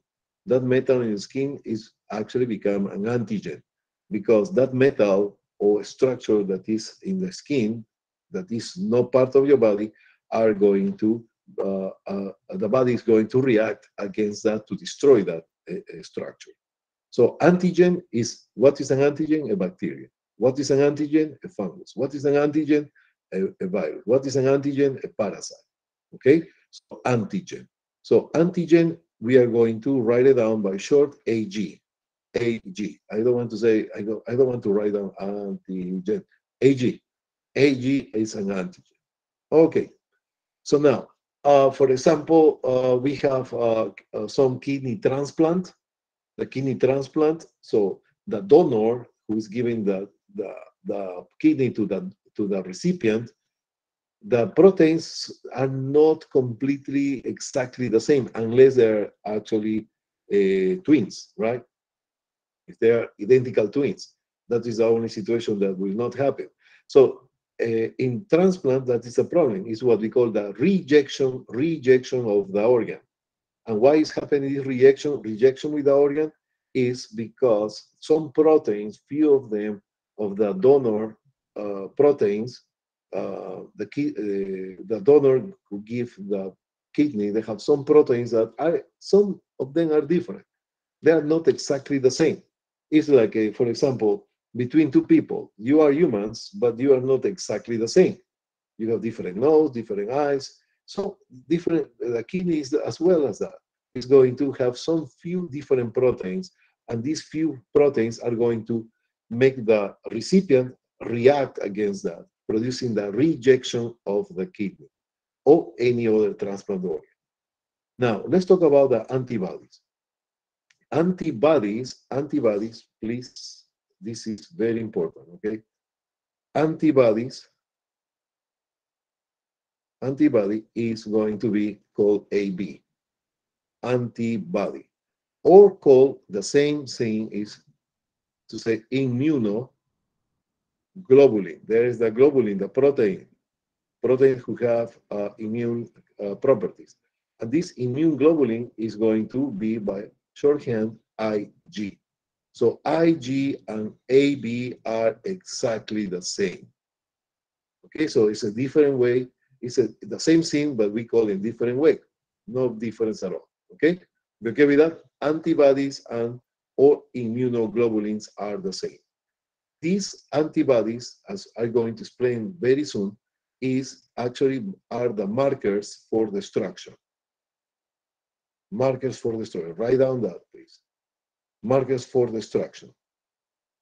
The marker for destruction means that it's not going to kill the, the uh, bacterial virus. They're not going to kill it. Are going to just mark for destruction. So it's like uh, you have, for example, uh, uh, you have an enemy. Oh, enemy is going. This is a cross. I make a cross, cross, cross, cross, cross. So now to identify, to be identified as an enemy, then other cells are coming and kill the structure, the bacterial virus. So antibodies do not kill bacteria, do not kill viruses, are going to be just markers for destruction. These, after they are being marked for destruction, other cells can identify the lymphocytes, are we able to identify the cells who are marked for destruction and destroy the, the bacterial virus. You okay with that? Yes. Yep. Yeah. Okay. All right. All right. So let's talk about the, uh, these guys. Yeah, this is actually what I uh, pathology. I'm not going to go into much because that's why I have that uh, this time. But let's go to the first one. Are the neutrophils? Okay. All right. This guy neutrophils. The neutrophils are going to be part of the white cells. Neutrophils are going to be called the granulocytes. Be called a granulocyte. So what are the granulocytes? Granulocytes, granule, granulo means granule. What means granule? Granule means that in these cells are going to be granules of what? This is the nucleus. This is the nucleus. Nucleus kind of weird. This is nucleus, huh? This is neutrophil. All this is the nucleus. That is exactly the. So it looks like a weird, right? Nucleus, you know that is round. No, but the nucleus and the neutrophil is like this. It's like a three lobulated, right? So that is the nucleus. And you see inside here, inside, you have here the um, these granules. What are these granules? These granules are enzymes. Enzymes. Enzymes who are going to destroy the, the bacteria.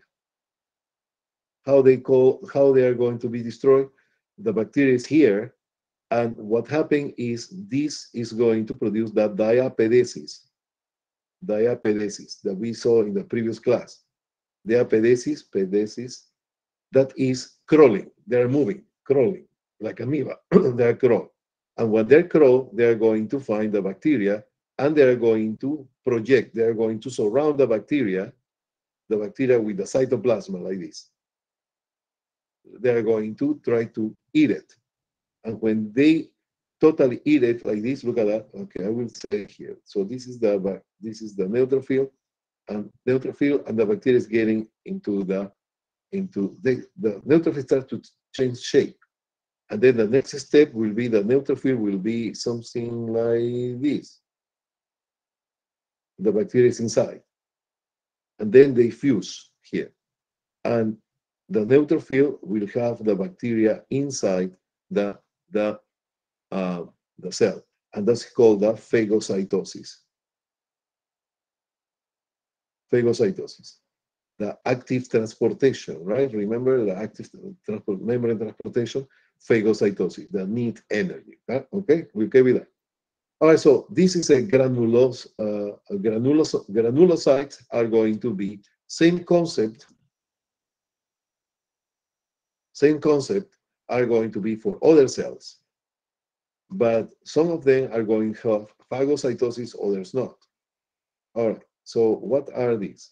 So in general, what I want you to remember is that granulos, uh, granulocytes are white cells who are the neutrophils, eosinophils, and the basophils.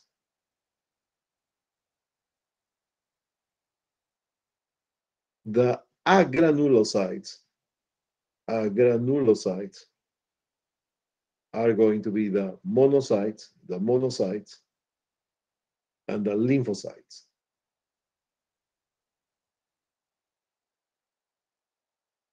Okay, so the white cells are dividing then into granulocytes and agranulocytes.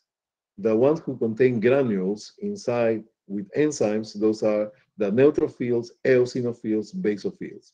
And the agranulocytes granulocytes are going to be the monocytes and the lymphocytes. Okay with that? Yes. Okay. All right. So saying that, let's start with uh, with the fun fun stuff. All right. So the neutroph the neutrophils are the most abundant of the white cells. So just remember the white cells are going to be produced are going to be produced uh, one million white cells per second. It's a lot of them. Okay, and neutrophils is about 65% of all these white cells. These neutrophils are the first one who are going to arrive to the to the fight. So those are the Marines.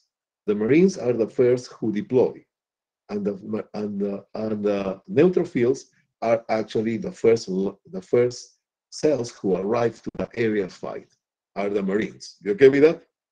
Okay. These neutrophils are not located, all of them, in the, in the bloodstream. They're on the bases. Remember, the second line of defense, the bases, the, the alarm. So not all the white, all not all the neutrophils are, are patrolling in the bloodstream. They're on the bases. They're waiting for the alarm for infection, and then the neutrophils, by by diapedesis, the crawling, they're going to pass from the tissues into the bloodstream to the big highways to reach the area of the fight. You okay with that? The neutrophils are, I call these guys, I call the ninjas. Ninjas. These, these call are basically huge, big warriors, are the most aggressive warriors they can have in, we have in our body. Those are the Marines. And these guys are going to kill are going to kill bacteria. And you know what? They kill 10 bacteria at the same time. 10 bacteria at the same time. 10 bacteria at the same time. So they kill the, the, the enemy with killing with the right arm with the left arm with food with the right foot with the so they, they are very fantastic fantastic warriors these warriors are going to live only three days. Three days. So write down three days. Okay. So these neutrophils, the one who deploy first, the neutrophils, are going to kill bacteria.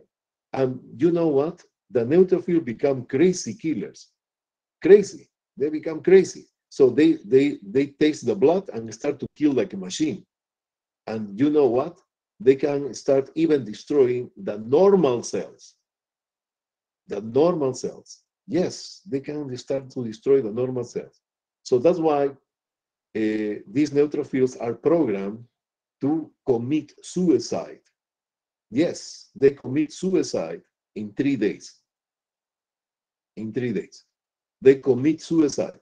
So the, the lifespan of the of the neutrophils is three days when they're fighting. They don't live longer because after that they become like crazy psycho uh, neutrophil and start to kill everybody who's in front of him. And that is already programmed that they need to commit suicide in three days. You okay with that? Okay. So those, those are the neutrophils, the first the one who deploy into the fight. Second, we are going to talk about the eosinophils. Eosinophils eosinophils are going to, probably I better write it down.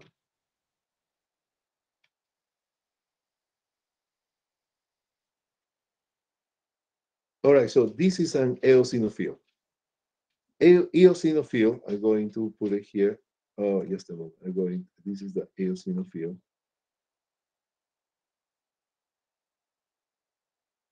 This guy, eosinophil, is actually they have a lot of granules inside. This is a granulocyte white cell. These granules, what they are doing is to actually target the bacteria. So what is doing this? So the neutrophils eat by phagocytosis the bacteria, but in this case, the eosinophils do not eat the bacteria.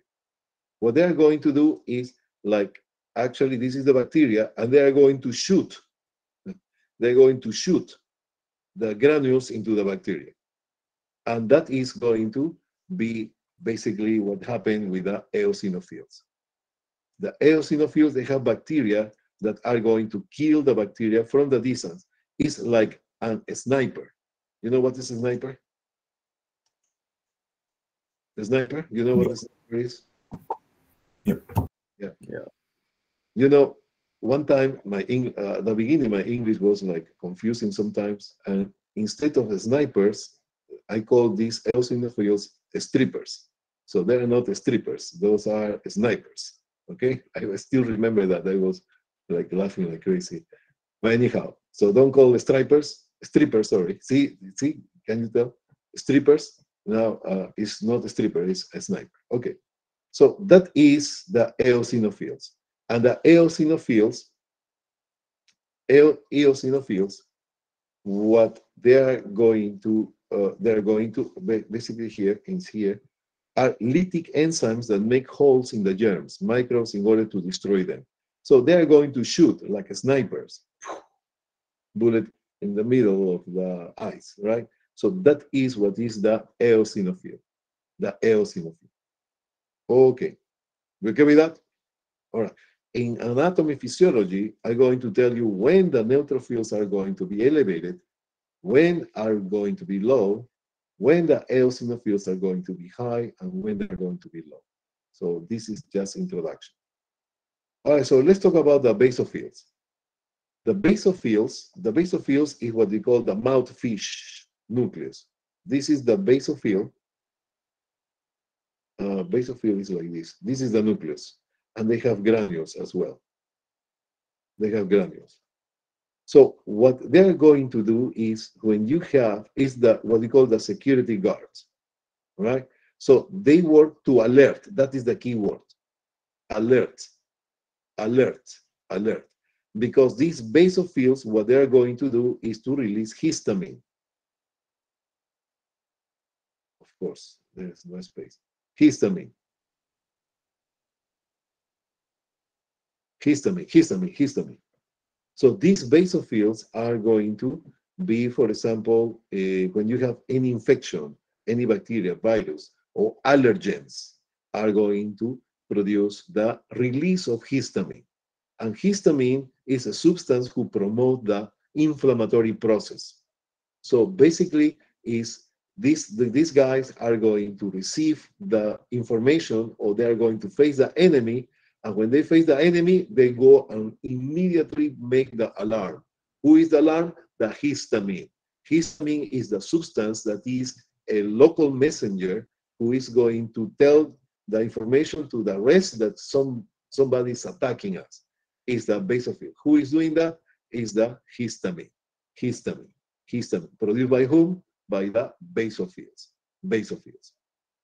So we have here the uh, the neutrophils, the ninjas, and and just to remember, you don't need to call ninjas, but ninjas because uh, uh, very brave warriors. Eosinophils, the snipers, and basophils, the security guards, who produce the histamine, who is the alarm, who is the substance, who is the message that are going to let other cells to uh, enter into fight. All right, so here we have the monocytes.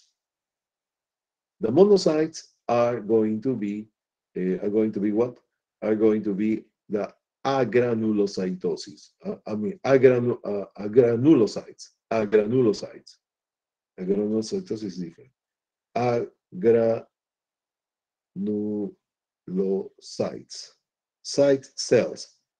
A granule means no granules, right? These monocytes, these monocytes, I put macrophage, macrophages. How is that happen?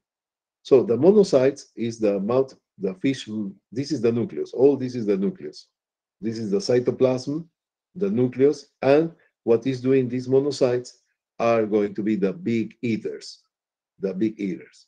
So these monocytes are when you but the monocyte is like this, like this. But when you bother the monocytes or the monocytes are active, the monocytes are going, this is the monocyte, the monocyte then transform, convert as a transformer into a big cell that is called the macrophage. Macrophage. This is the monocyte, and the monocyte convert, transform into macrophage. Macrophage. Big cell. Why is that?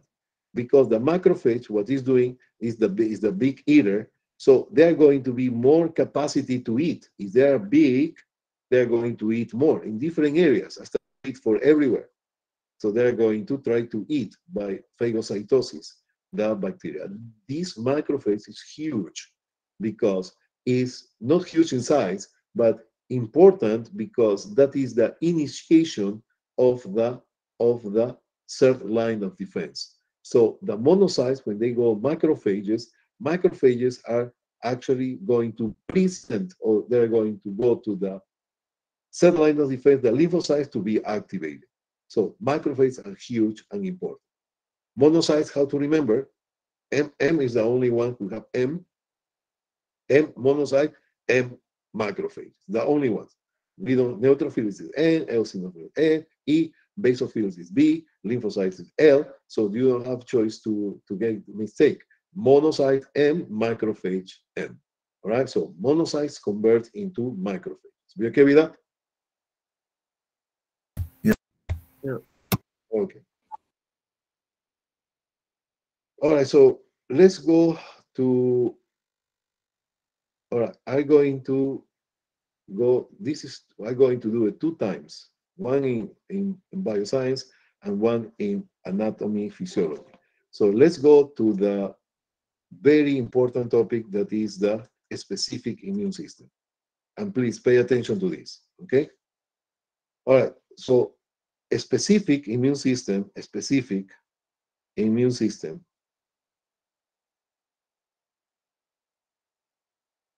or third line of defense are going to be classified into. This is important to know about HIV and all that, okay? You will know why. We have the lymphocyte B,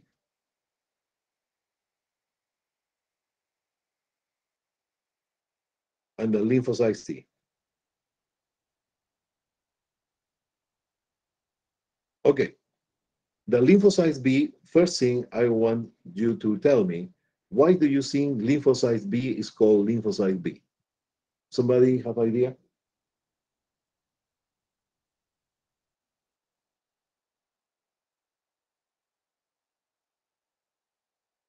Like antibodies? Very good try. Very good try. B is more simple, I will say. You will never forget now. Lymphocytes B because these lymphocytes, they're going to born and get mature in the bone. B bone. Okay? And the lymphocytes T, they are going to born in the bone, but they get mature in the thymus. Thymus. Thymus. Where is the thymus? The thymus is retroesternal, means behind the sternum, correct? So this, I need to uh, basically tell you the story about the thymus. All right.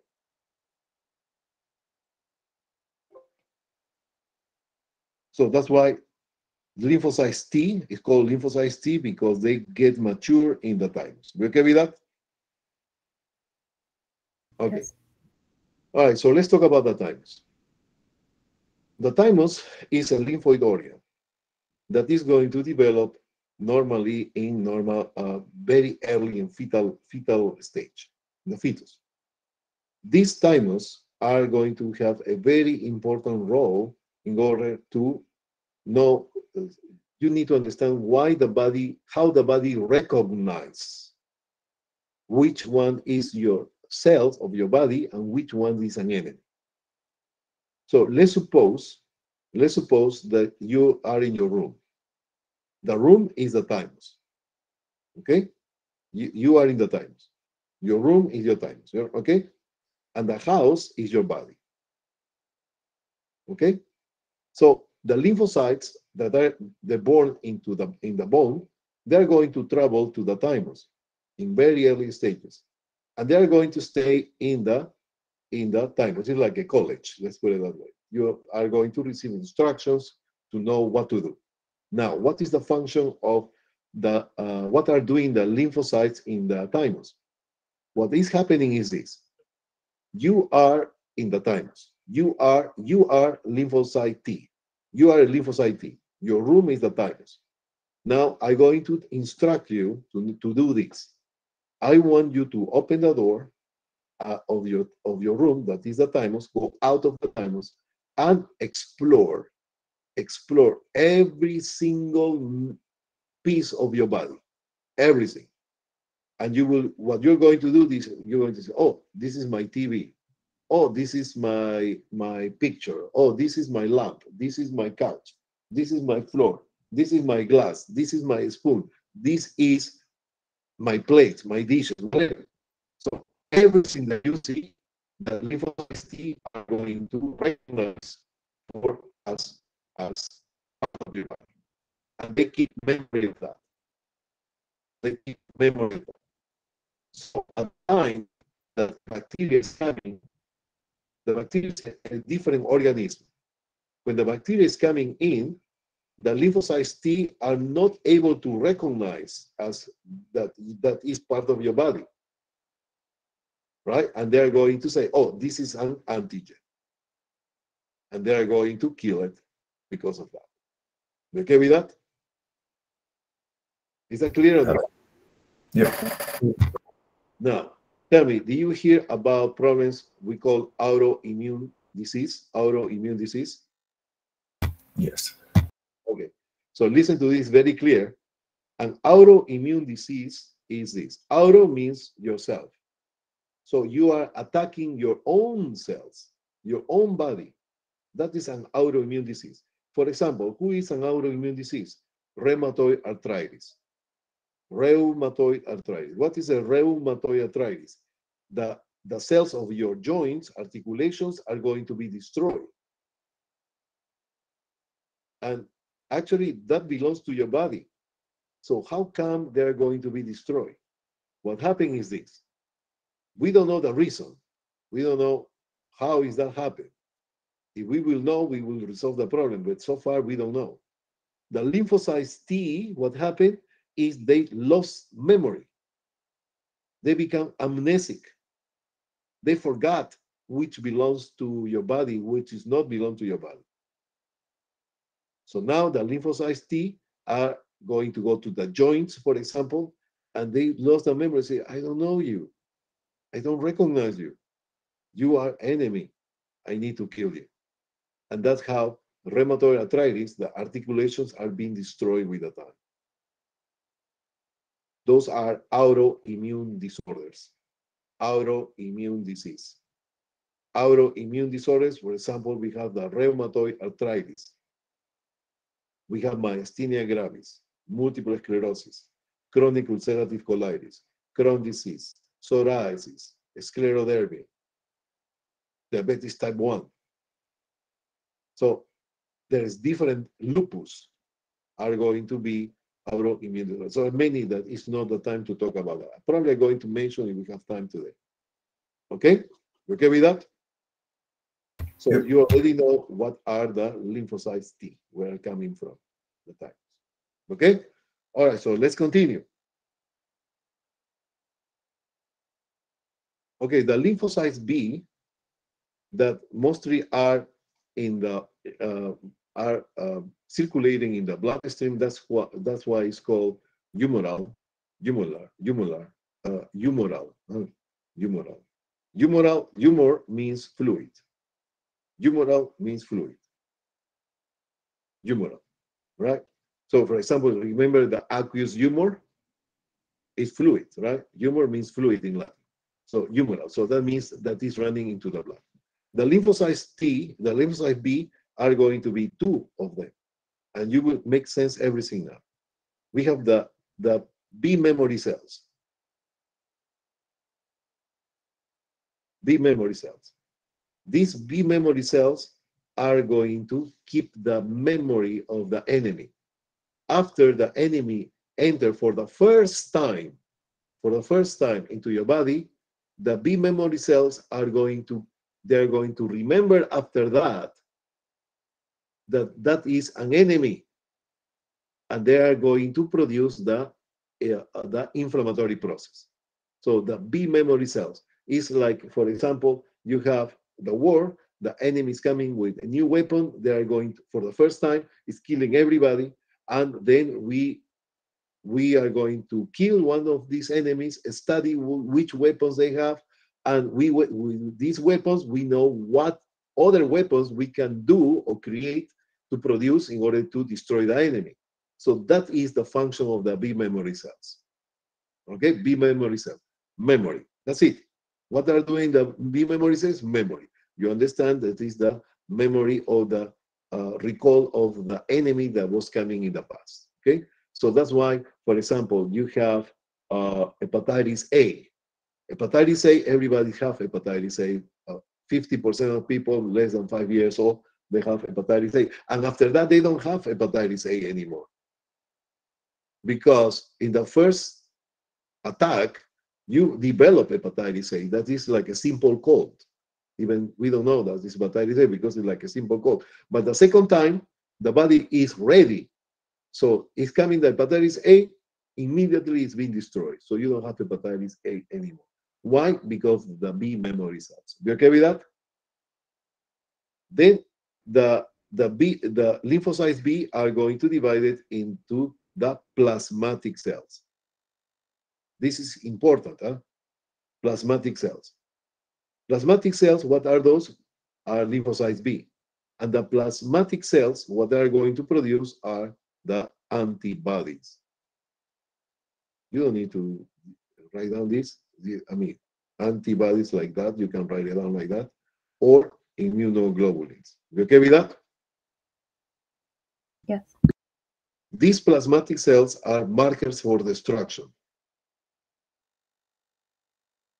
For destruction. That is the function of the of the plasmatic cells that are lymphocytes B. Plasmatic cells are a type of lymphocytes B that are going to produce antibodies. So these antibodies, called immunoglobulins as well, is going to be immunoglobulin G, A, M, E, and D. So just remember game D. So these different antibodies, one in the skin, one in the fluids, one the first one. So I'm not going to go on that. Just remember that there is game D. So G A M E D. So you know already all the market for this structure. That's it about the lymphocytes B. Okay? Let's talk about the lymphocytes T. The lymphocytes T are going to have several subtypes. One is the helper, the T helper, or called CD4. We have the T cytotoxic or killer,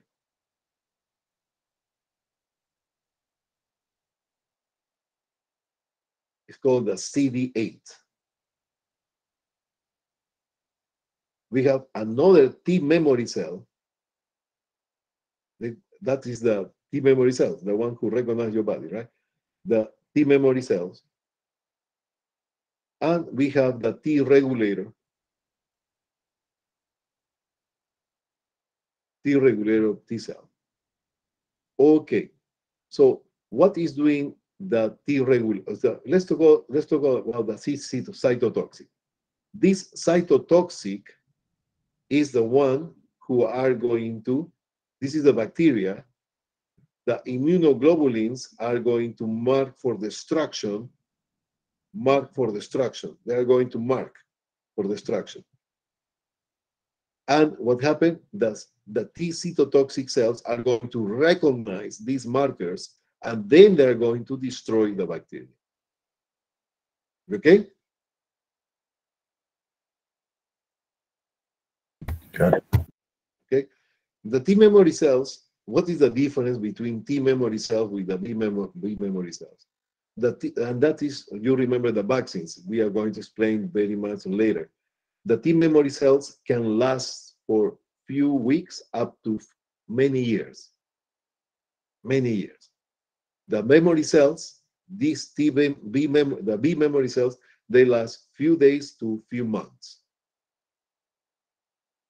So some vaccinations are going to be better than others. And I'm, I'm going to stop that because there is a huge topic there. Okay, so just to, we are doing the basic right now. So we have the T memory cells, the T cytotoxic or killer cells, and we have the T regulator. The T regulator, what is the T regulator? The T regulator is when you are in the fight and you're winning the war, you start to win the war, the T regulators are going to see, it's like the peacemaker, peacemaker. The T regulator said, oh, oh, we are winning. Okay, okay, lymphocytes, white cells, everybody go to their bases. We already win. So that is what is going to stop the immune uh, immune defense because we already win the war. So everybody go to their places. You okay with that? Yep.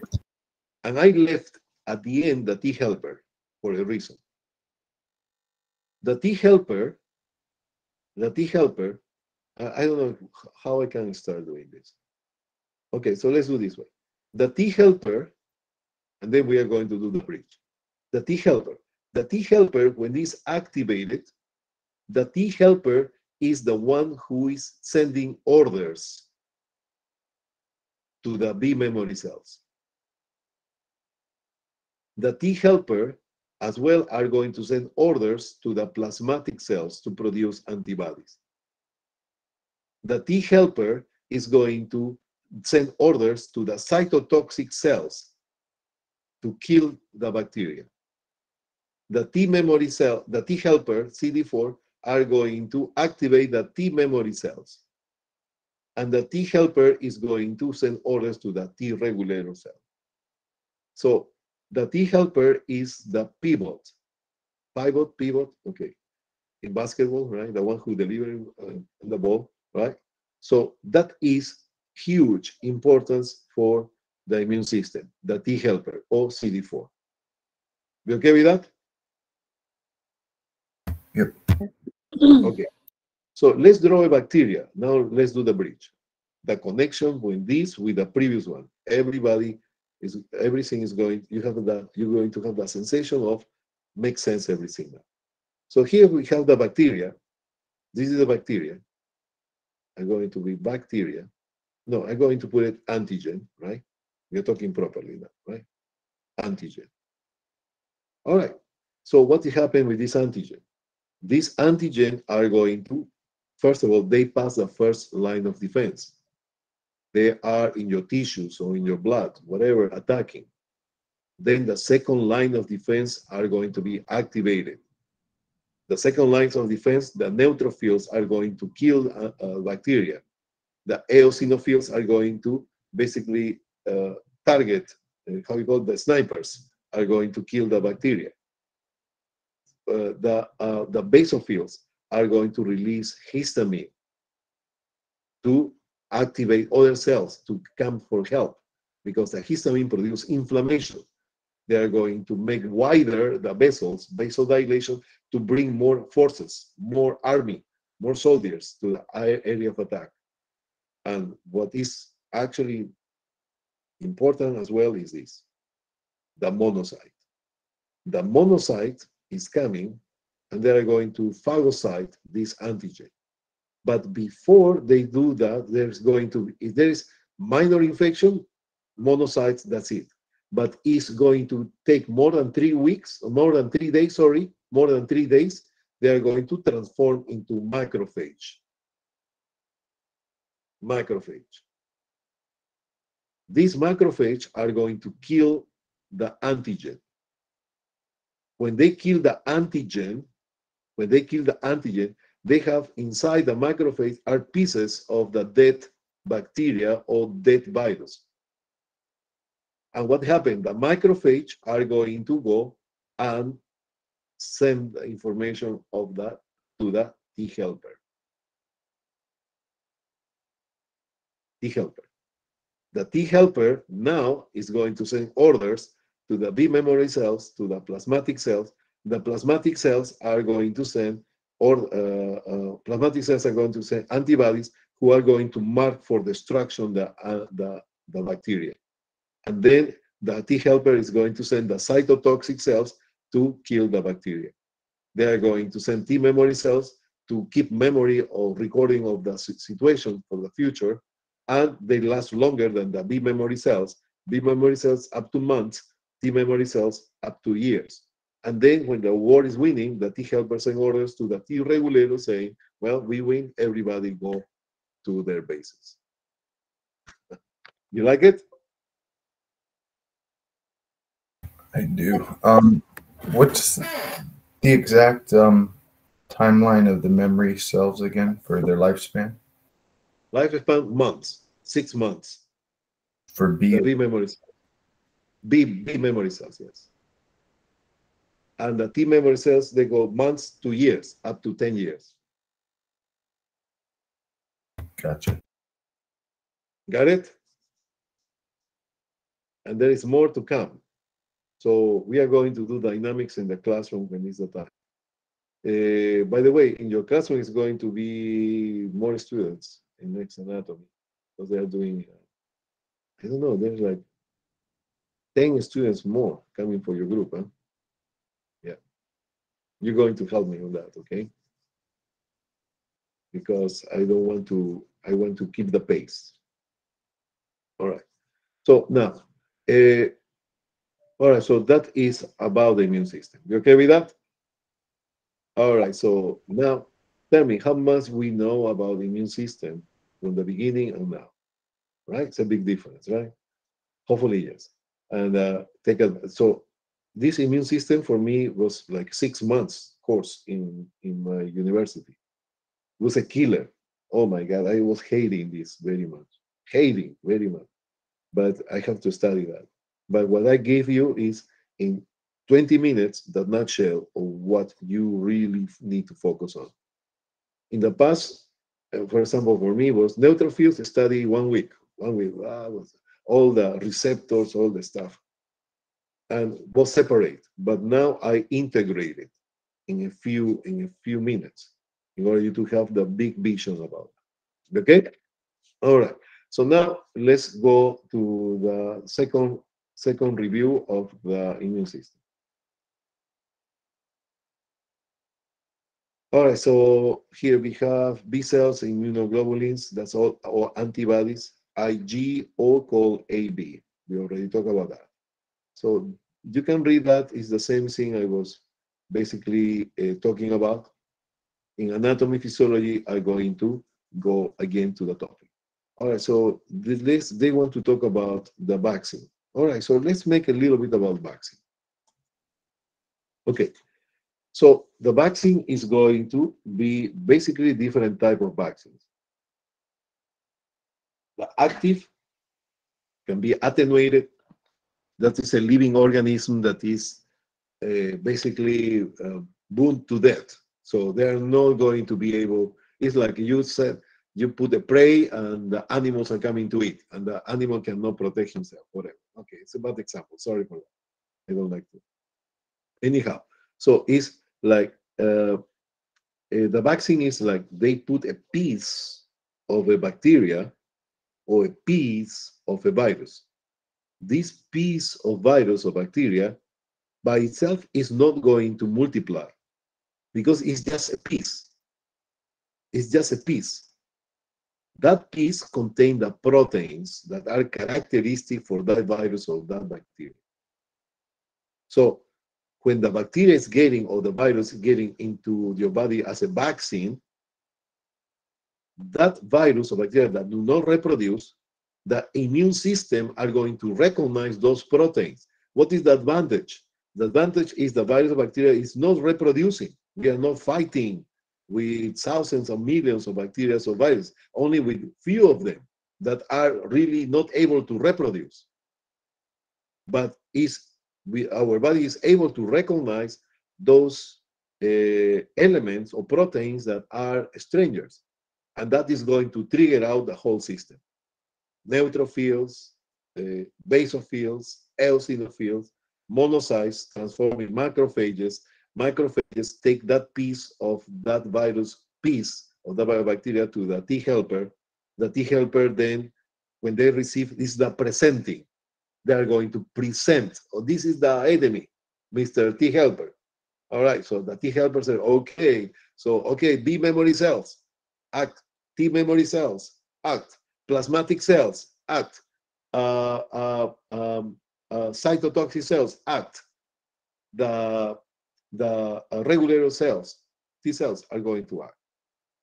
So the, the sequence is variable. There is no specific order on that. They can do simultaneously, since at the same time. Now, tell me one thing. If you don't produce antibodies, the immune system can recognize the bacteria to be killed no, right? No. So you must have antibodies that, that are going to mark for destruction. If there is no mark for destruction, the lymphocytes killers do not know who to kill. They don't know what to kill. You okay with that? Now listen to this. How many boosts, how many injections you have for your first uh, vaccination of COVID-19? One or two to complete to be safe. Two, right? And after how many days the first dose? A month.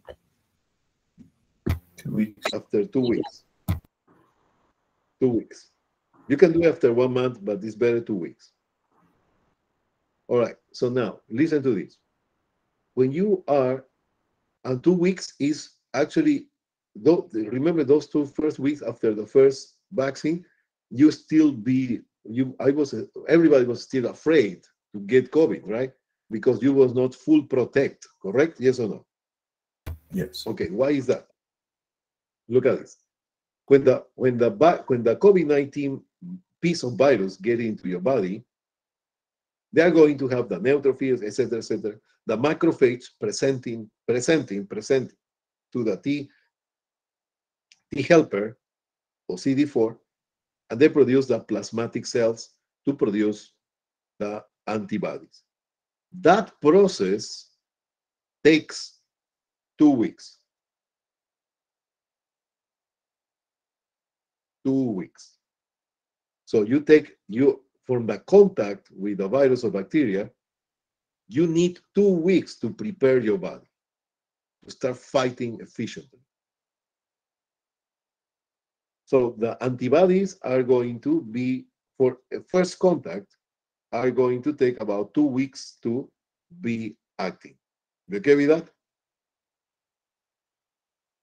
Yes. No. And that is the active vaccination. That is an active vaccination. Okay.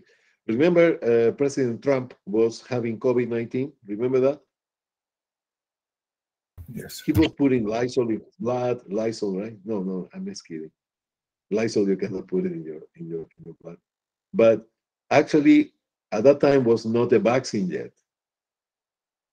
So how we was protecting the president of United States, besides whatever name it is, right?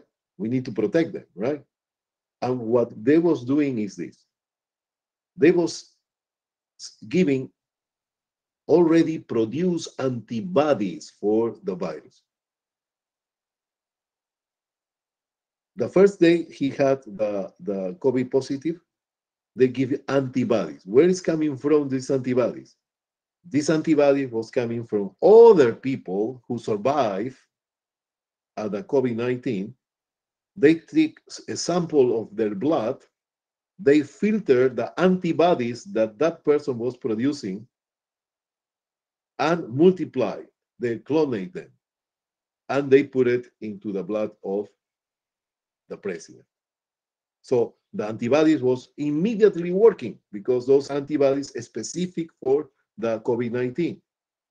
Every disease have specific antibodies. Every disease, A, B, C, D, H, A, B, C, D, each of them, they have a different type of antibodies. Okay with that?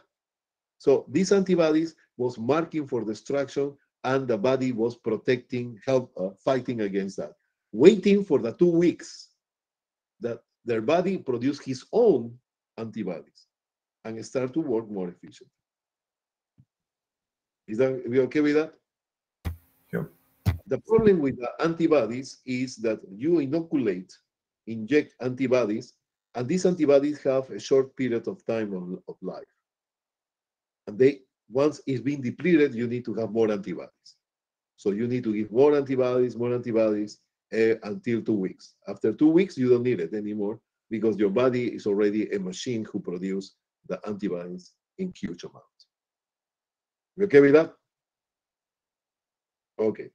So let's talk about this. That is what we call, we have the active vaccination that is giving you a piece of the of the bacteria virus into your body.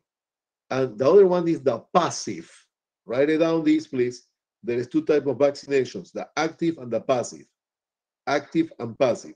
Type of vaccination, active and passive. Active and passive. Passive, passive. How you say passive, passive? Passive, passive. Okay. Passive. Passive. Excellent. Thank you. Thank you. Thank you. Passive and active. Active is when they give you uh, a piece of the virus bacteria. And passive is when you get, when you receive antibodies produced by somebody else. ¿De qué vida? Okay. All right, so this is uh, what we talk about the lymphocytes T, the T helpers.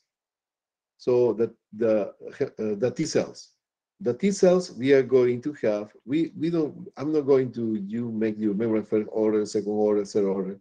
No, it's just the story I was telling you. We have the T helper, CD4. CD4 means cluster differentiation. It's a colony, a group of cells in the in the in the uh, hematopoiesis, the production of white cells. So it's called CD4 classical. And the killers of cytotoxics, the CD8. Okay, so now I want just to tell you one thing here. HIV. HIV is the immuno, uh, human immunodeficiency virus, correct? And AIDS is acquired, acquired immunodeficiency disease, right? So what is the difference between AIDS and HIV? I told you before that? Okay. HIV is having the virus. AIDS have the virus too.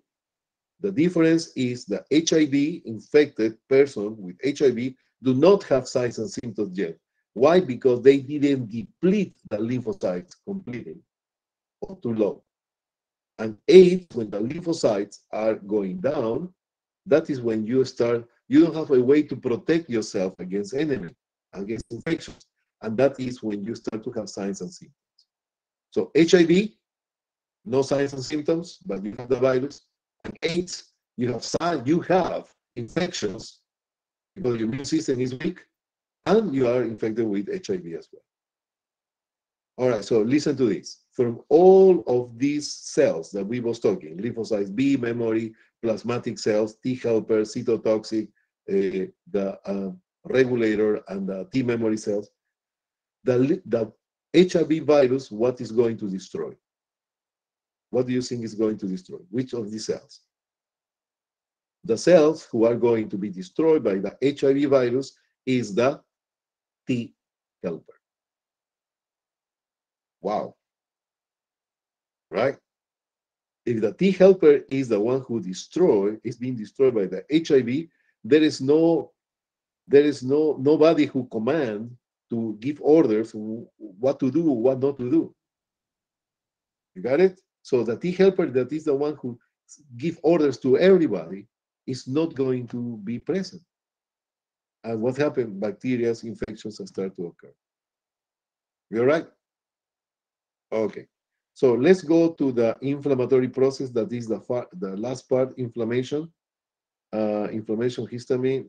And probably if I have time, as I mentioned about uh, some autoimmune disorders, but basically my main goal is this. All right, so listen. Write down this, please. The fever, fever, what is the normal temperature of your body? 97 to 100, Encles, Hesi, etc. Right? 97 to 100, right? In elderly people, 100 is considered fever already. Okay? All right. Why? Because elderly people do not have those amount of enzyme because it's more catabolic. Do not, it's less anabolic. You don't produce as many proteins as before.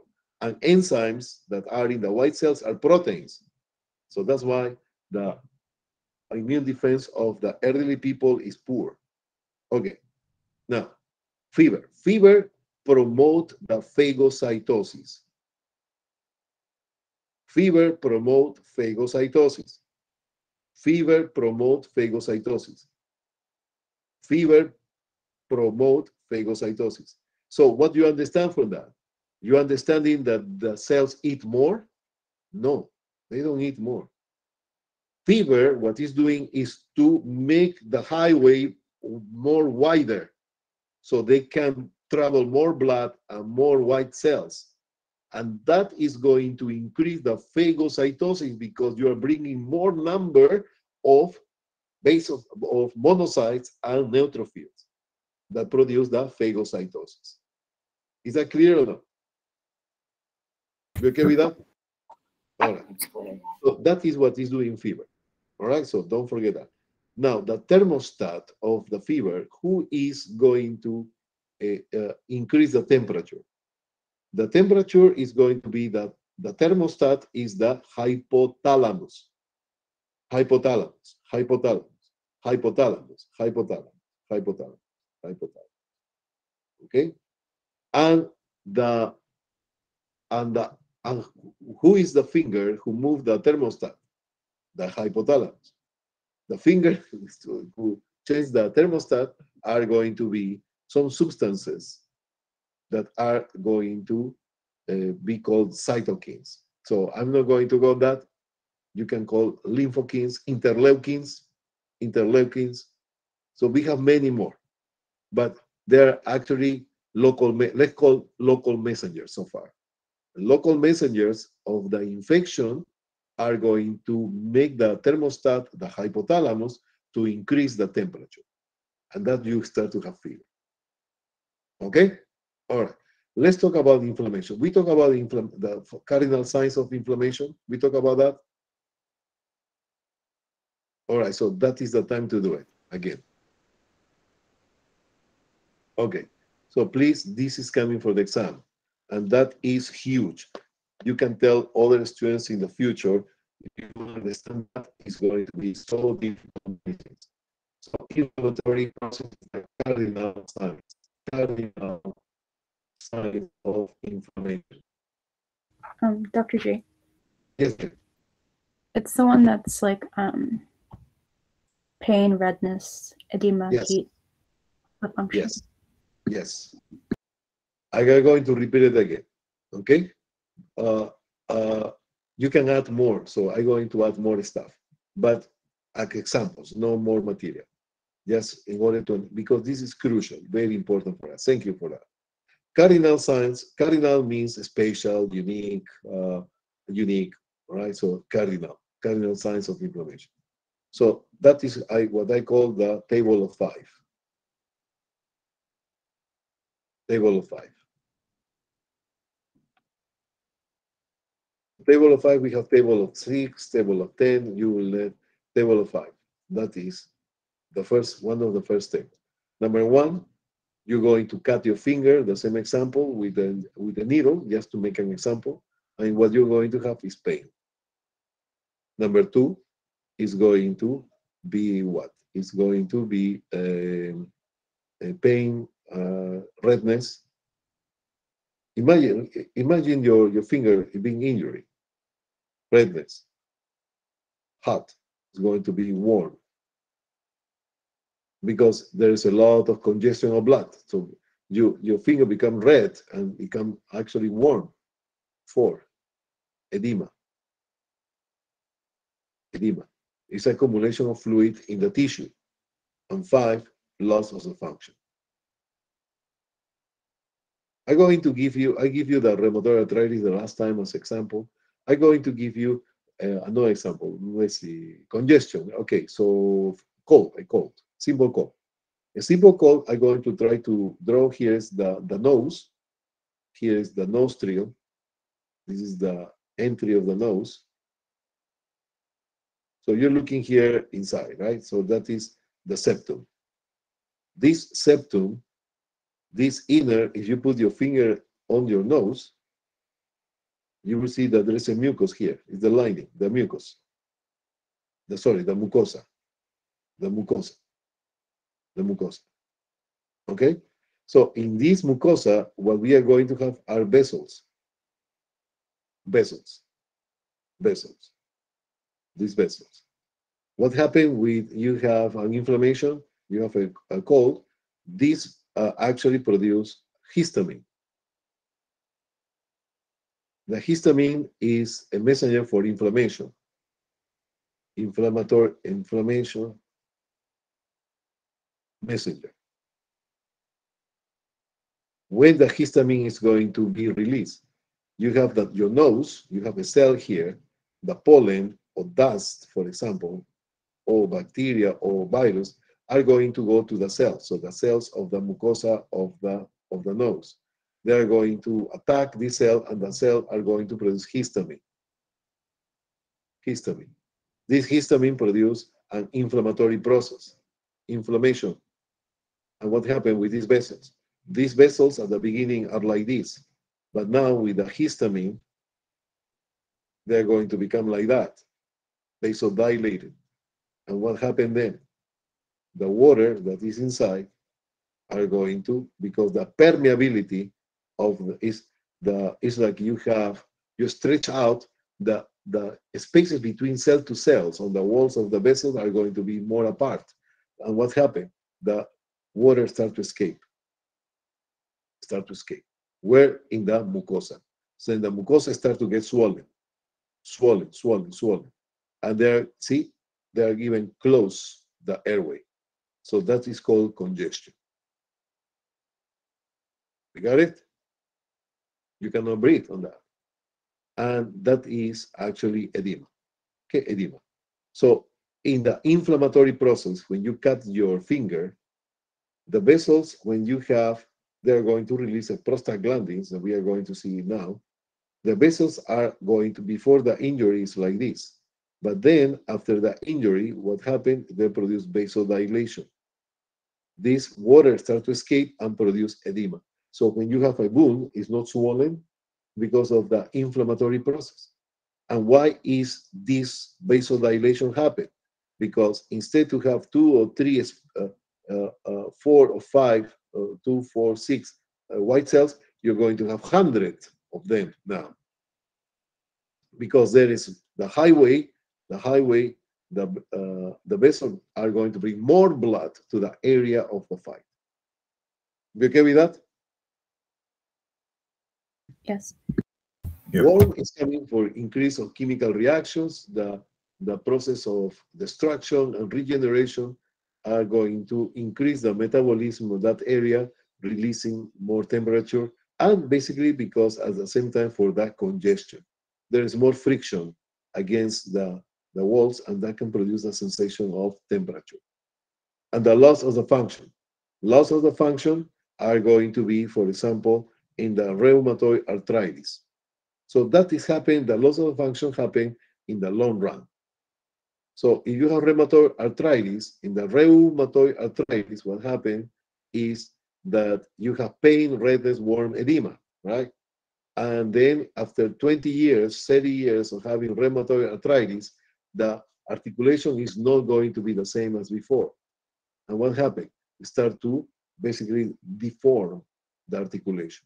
So after 20, 30 years to have rheumatoid arthritis, even though you're in the treatment, you start to limp.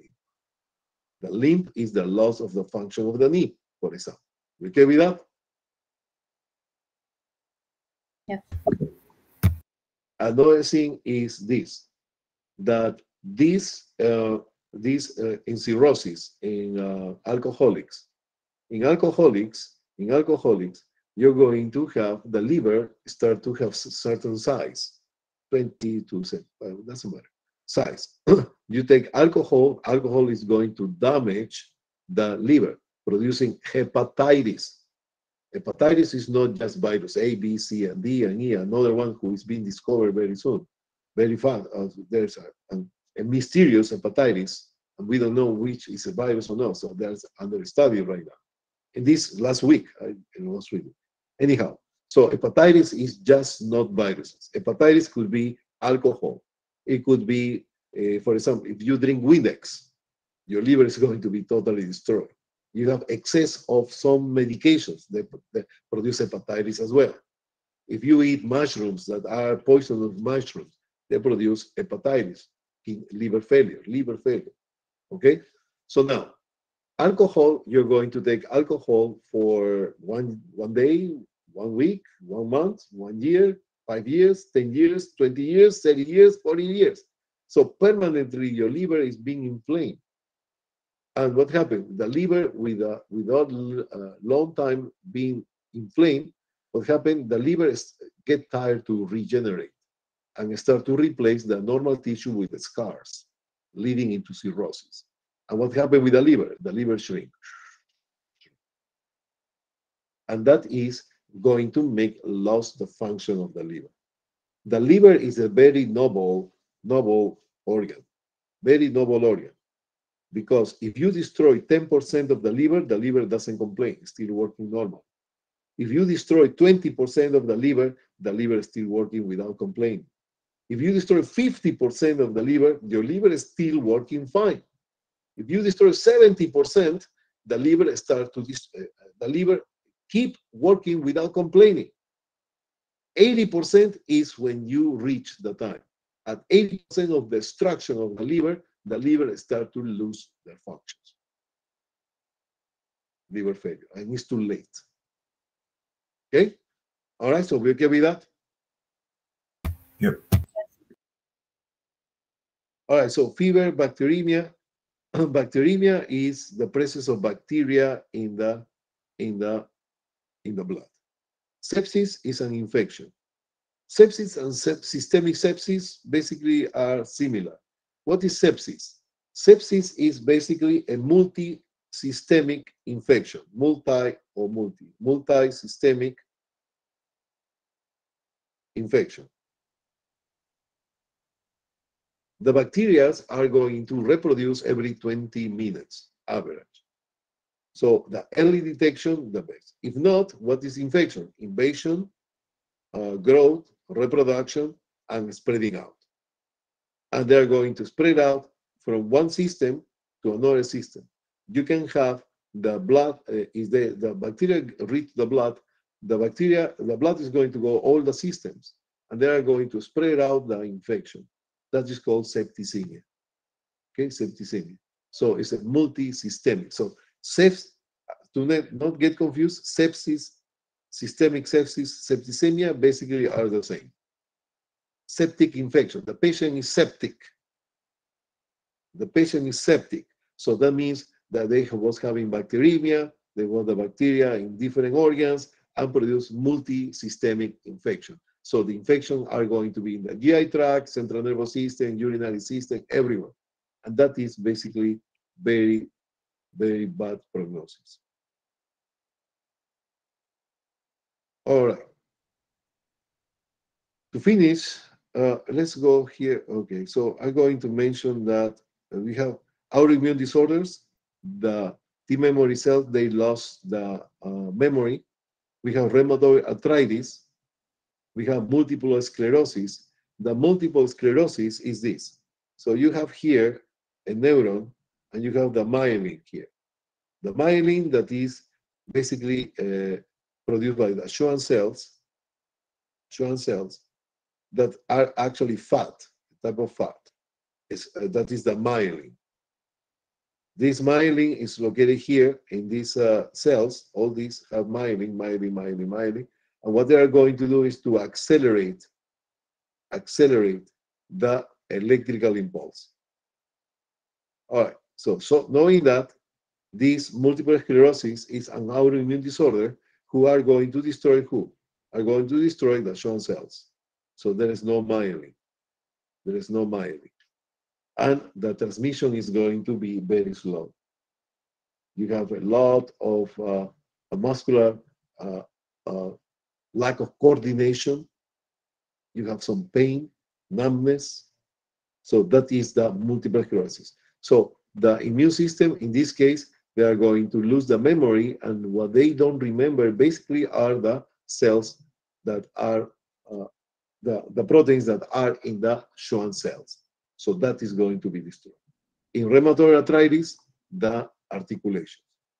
Lupus are going, this is a very good example of lupus. Lupus, lupus means wolf. Wolf.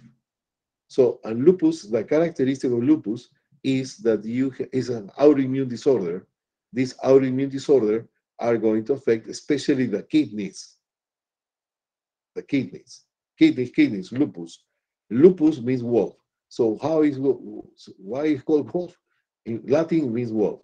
Somebody was exposed to the sunlight, and the sunlight produced. Uh, we have like allergy to the sunlight, and what happened? You have rash on the cheeks and in the nose, here, here, here. Why is that? Why? Not because it's a mystery. It's because when you go to the sunlight, the area more prominence of your face are going to be the cheeks, the nose, and the forehead. So those areas are most likely by the angle of your face more exposed to the sunlight. And that reaction occurs basically in that area. Can produce even ulcers. Ulcers. Okay, so that is the lupus. Lupus and autoimmune disorder. Ah, and what is that? Somebody said in the past, oh, look like a wolf.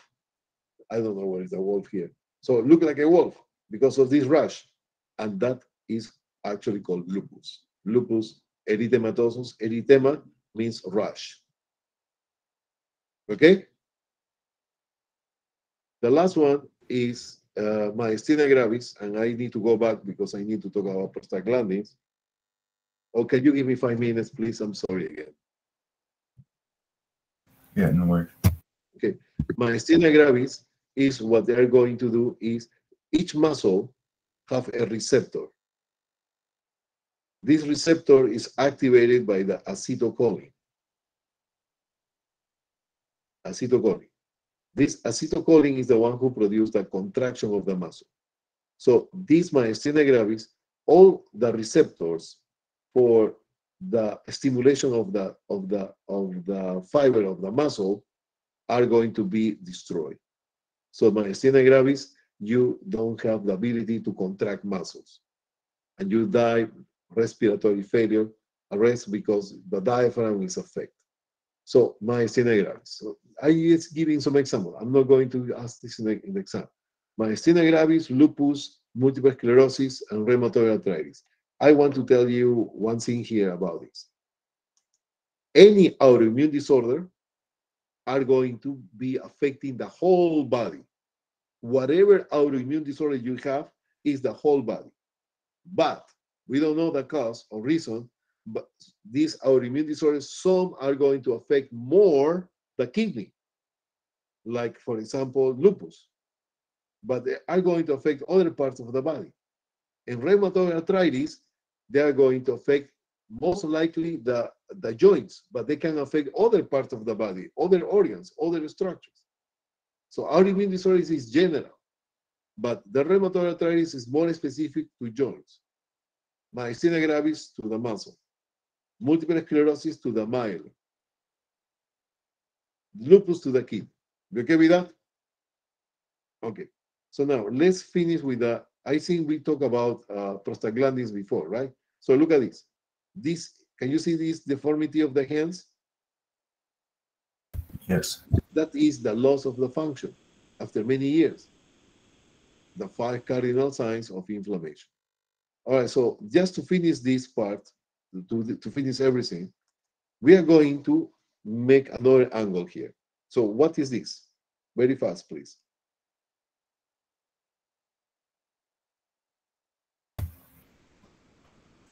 Phospholipid bilayer. Exactly, phospholipid bilayer. So what happened here? Look at this. They're going to have an injury. You cut your finger, cut your uh, cut your finger, your skin. So injury. And what is going to happen? Is going to release histamine.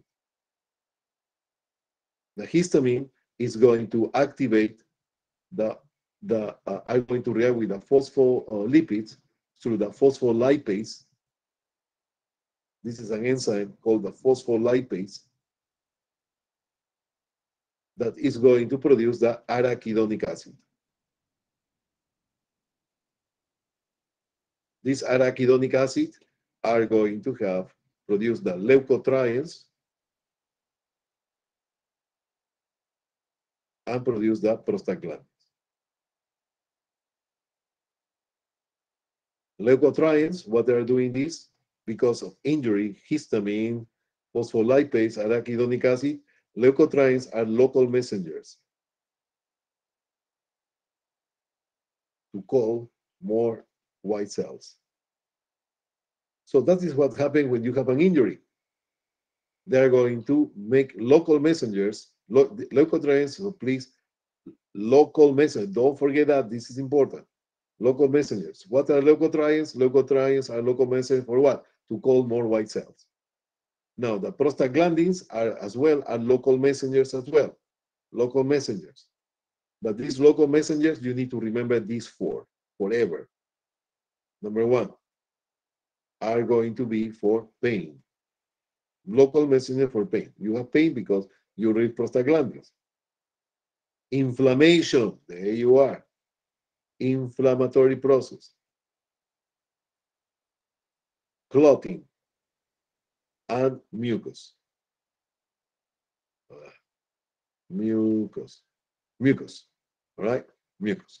So those are the four actions of the prostaglandins. Prostaglandins are called prostaglandins because was discovered first on the prostate. But then they find out that these local messengers are in every single cell of your body, the 100 trillion cells of your body. And they are going to release messengers for pain. So when you hit your, you, you injure your finger, you're going to produce prostaglandins, local messenger for pain. You start to feel pain, inflammation, inflammation, the five cardinal signs the five cardinal signs, the, the table of five. Clotting, we are going to see that later, clotting and mucus. So I want you to remember these two first. Okay, we don't have time to do the rest. So, but it's kind of interesting. But anyhow, so now when you have pain, what you are doing? You're taking, you're taking ibuprofen, yes or no? Yes. So the ibuprofen, what it's doing is to block the production of local medicine for pain. That is the ibuprofen or the Motrin, if you want, Motrin. They're going to cut this. So they're going to reduce injury, histamine, arachidonic acid, prostaglandin, but they're not producing medicine for pain. So your pain away. Is this inflamed? Okay, let's take uh, ibuprofen again. And they're going to cut this. So that is basically a little bit of, of hint about what is coming later on. Okay, so that's it's about. So very fast, please, Eric. What what what do you think about the class? It's good. I like um, the part where you talked about the T helpers and the order of it. I think that was very interesting, especially with all the visuals that you put up. So it was, it was good. Yeah. Thank you, Miss Eric. Thank you. Anything to be improved, let me know, please. Okay? Uh, Miss Oo, what do you think? What is your opinion? You like which lymphocyte is your favorite, Miss Oo?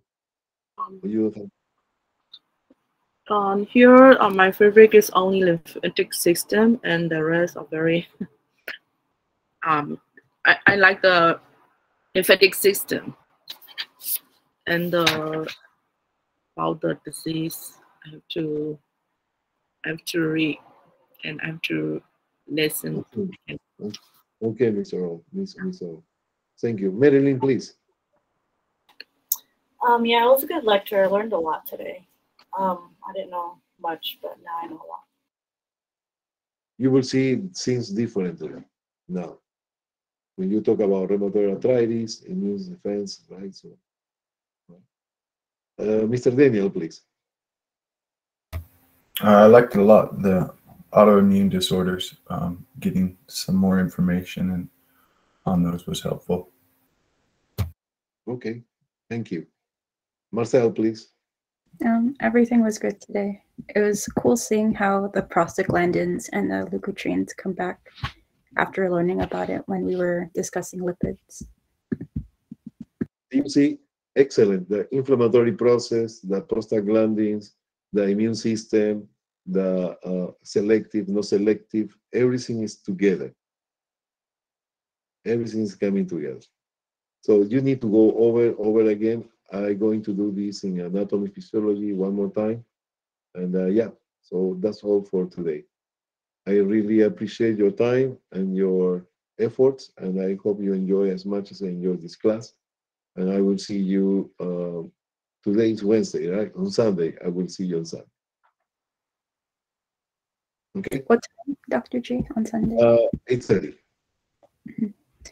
And then um, for our previous quizzes, can you post them so we can review them? Oh, yeah, yeah, yeah. Just, just text me just to remind me if there is no, uh, uh, tomorrow, tomorrow, just text me, please. If I don't put it, I, I will put it right away. So because I cannot open because of that. I prefer to do all together, but in the, at night we have a quiz. So I will do it after that. Do all Um, quizzes, all quizzes. Everything you can from Yes. like 11 to. Okay. All right, guys. Thank you so much. I will see you next time. And uh, yeah, and Dr. G, final exam uh, is going to be um from uh what lecture 11 to the end? no, no, to all the lectures, one to Starting the- from lecture one. yeah, all the all the lectures. Okay. All right. For that, we are going to do tutoring as well. Don't don't worry. I'm going to guide you on that. Okay. All right. So thank you so much. Have a good night, everybody. Everybody. I will see you next time. Thank you. Thank you. Okay. Uh, Daniel, just a moment. Yes, sir. Yeah. Oh, thank you. Uh, Daniel, to make it simple, we can do the exam at 5 p.m. I go into Proctor. We don't need to have Google meeting. Okay. At 5, uh, 5 p. Uh, yeah, 5 p.m. You start your exam. We okay with that? Will do. Yeah, uh, just text me if there is actually difficulties on the exam. So you will see the very clear your exam. Which exam was? 15? Uh, I, I will I check. I will, I will check. I will check. So you just text me and we will make today. Okay? Gotcha. Thank you. Appreciate the opportunity. Thank you. Thank you.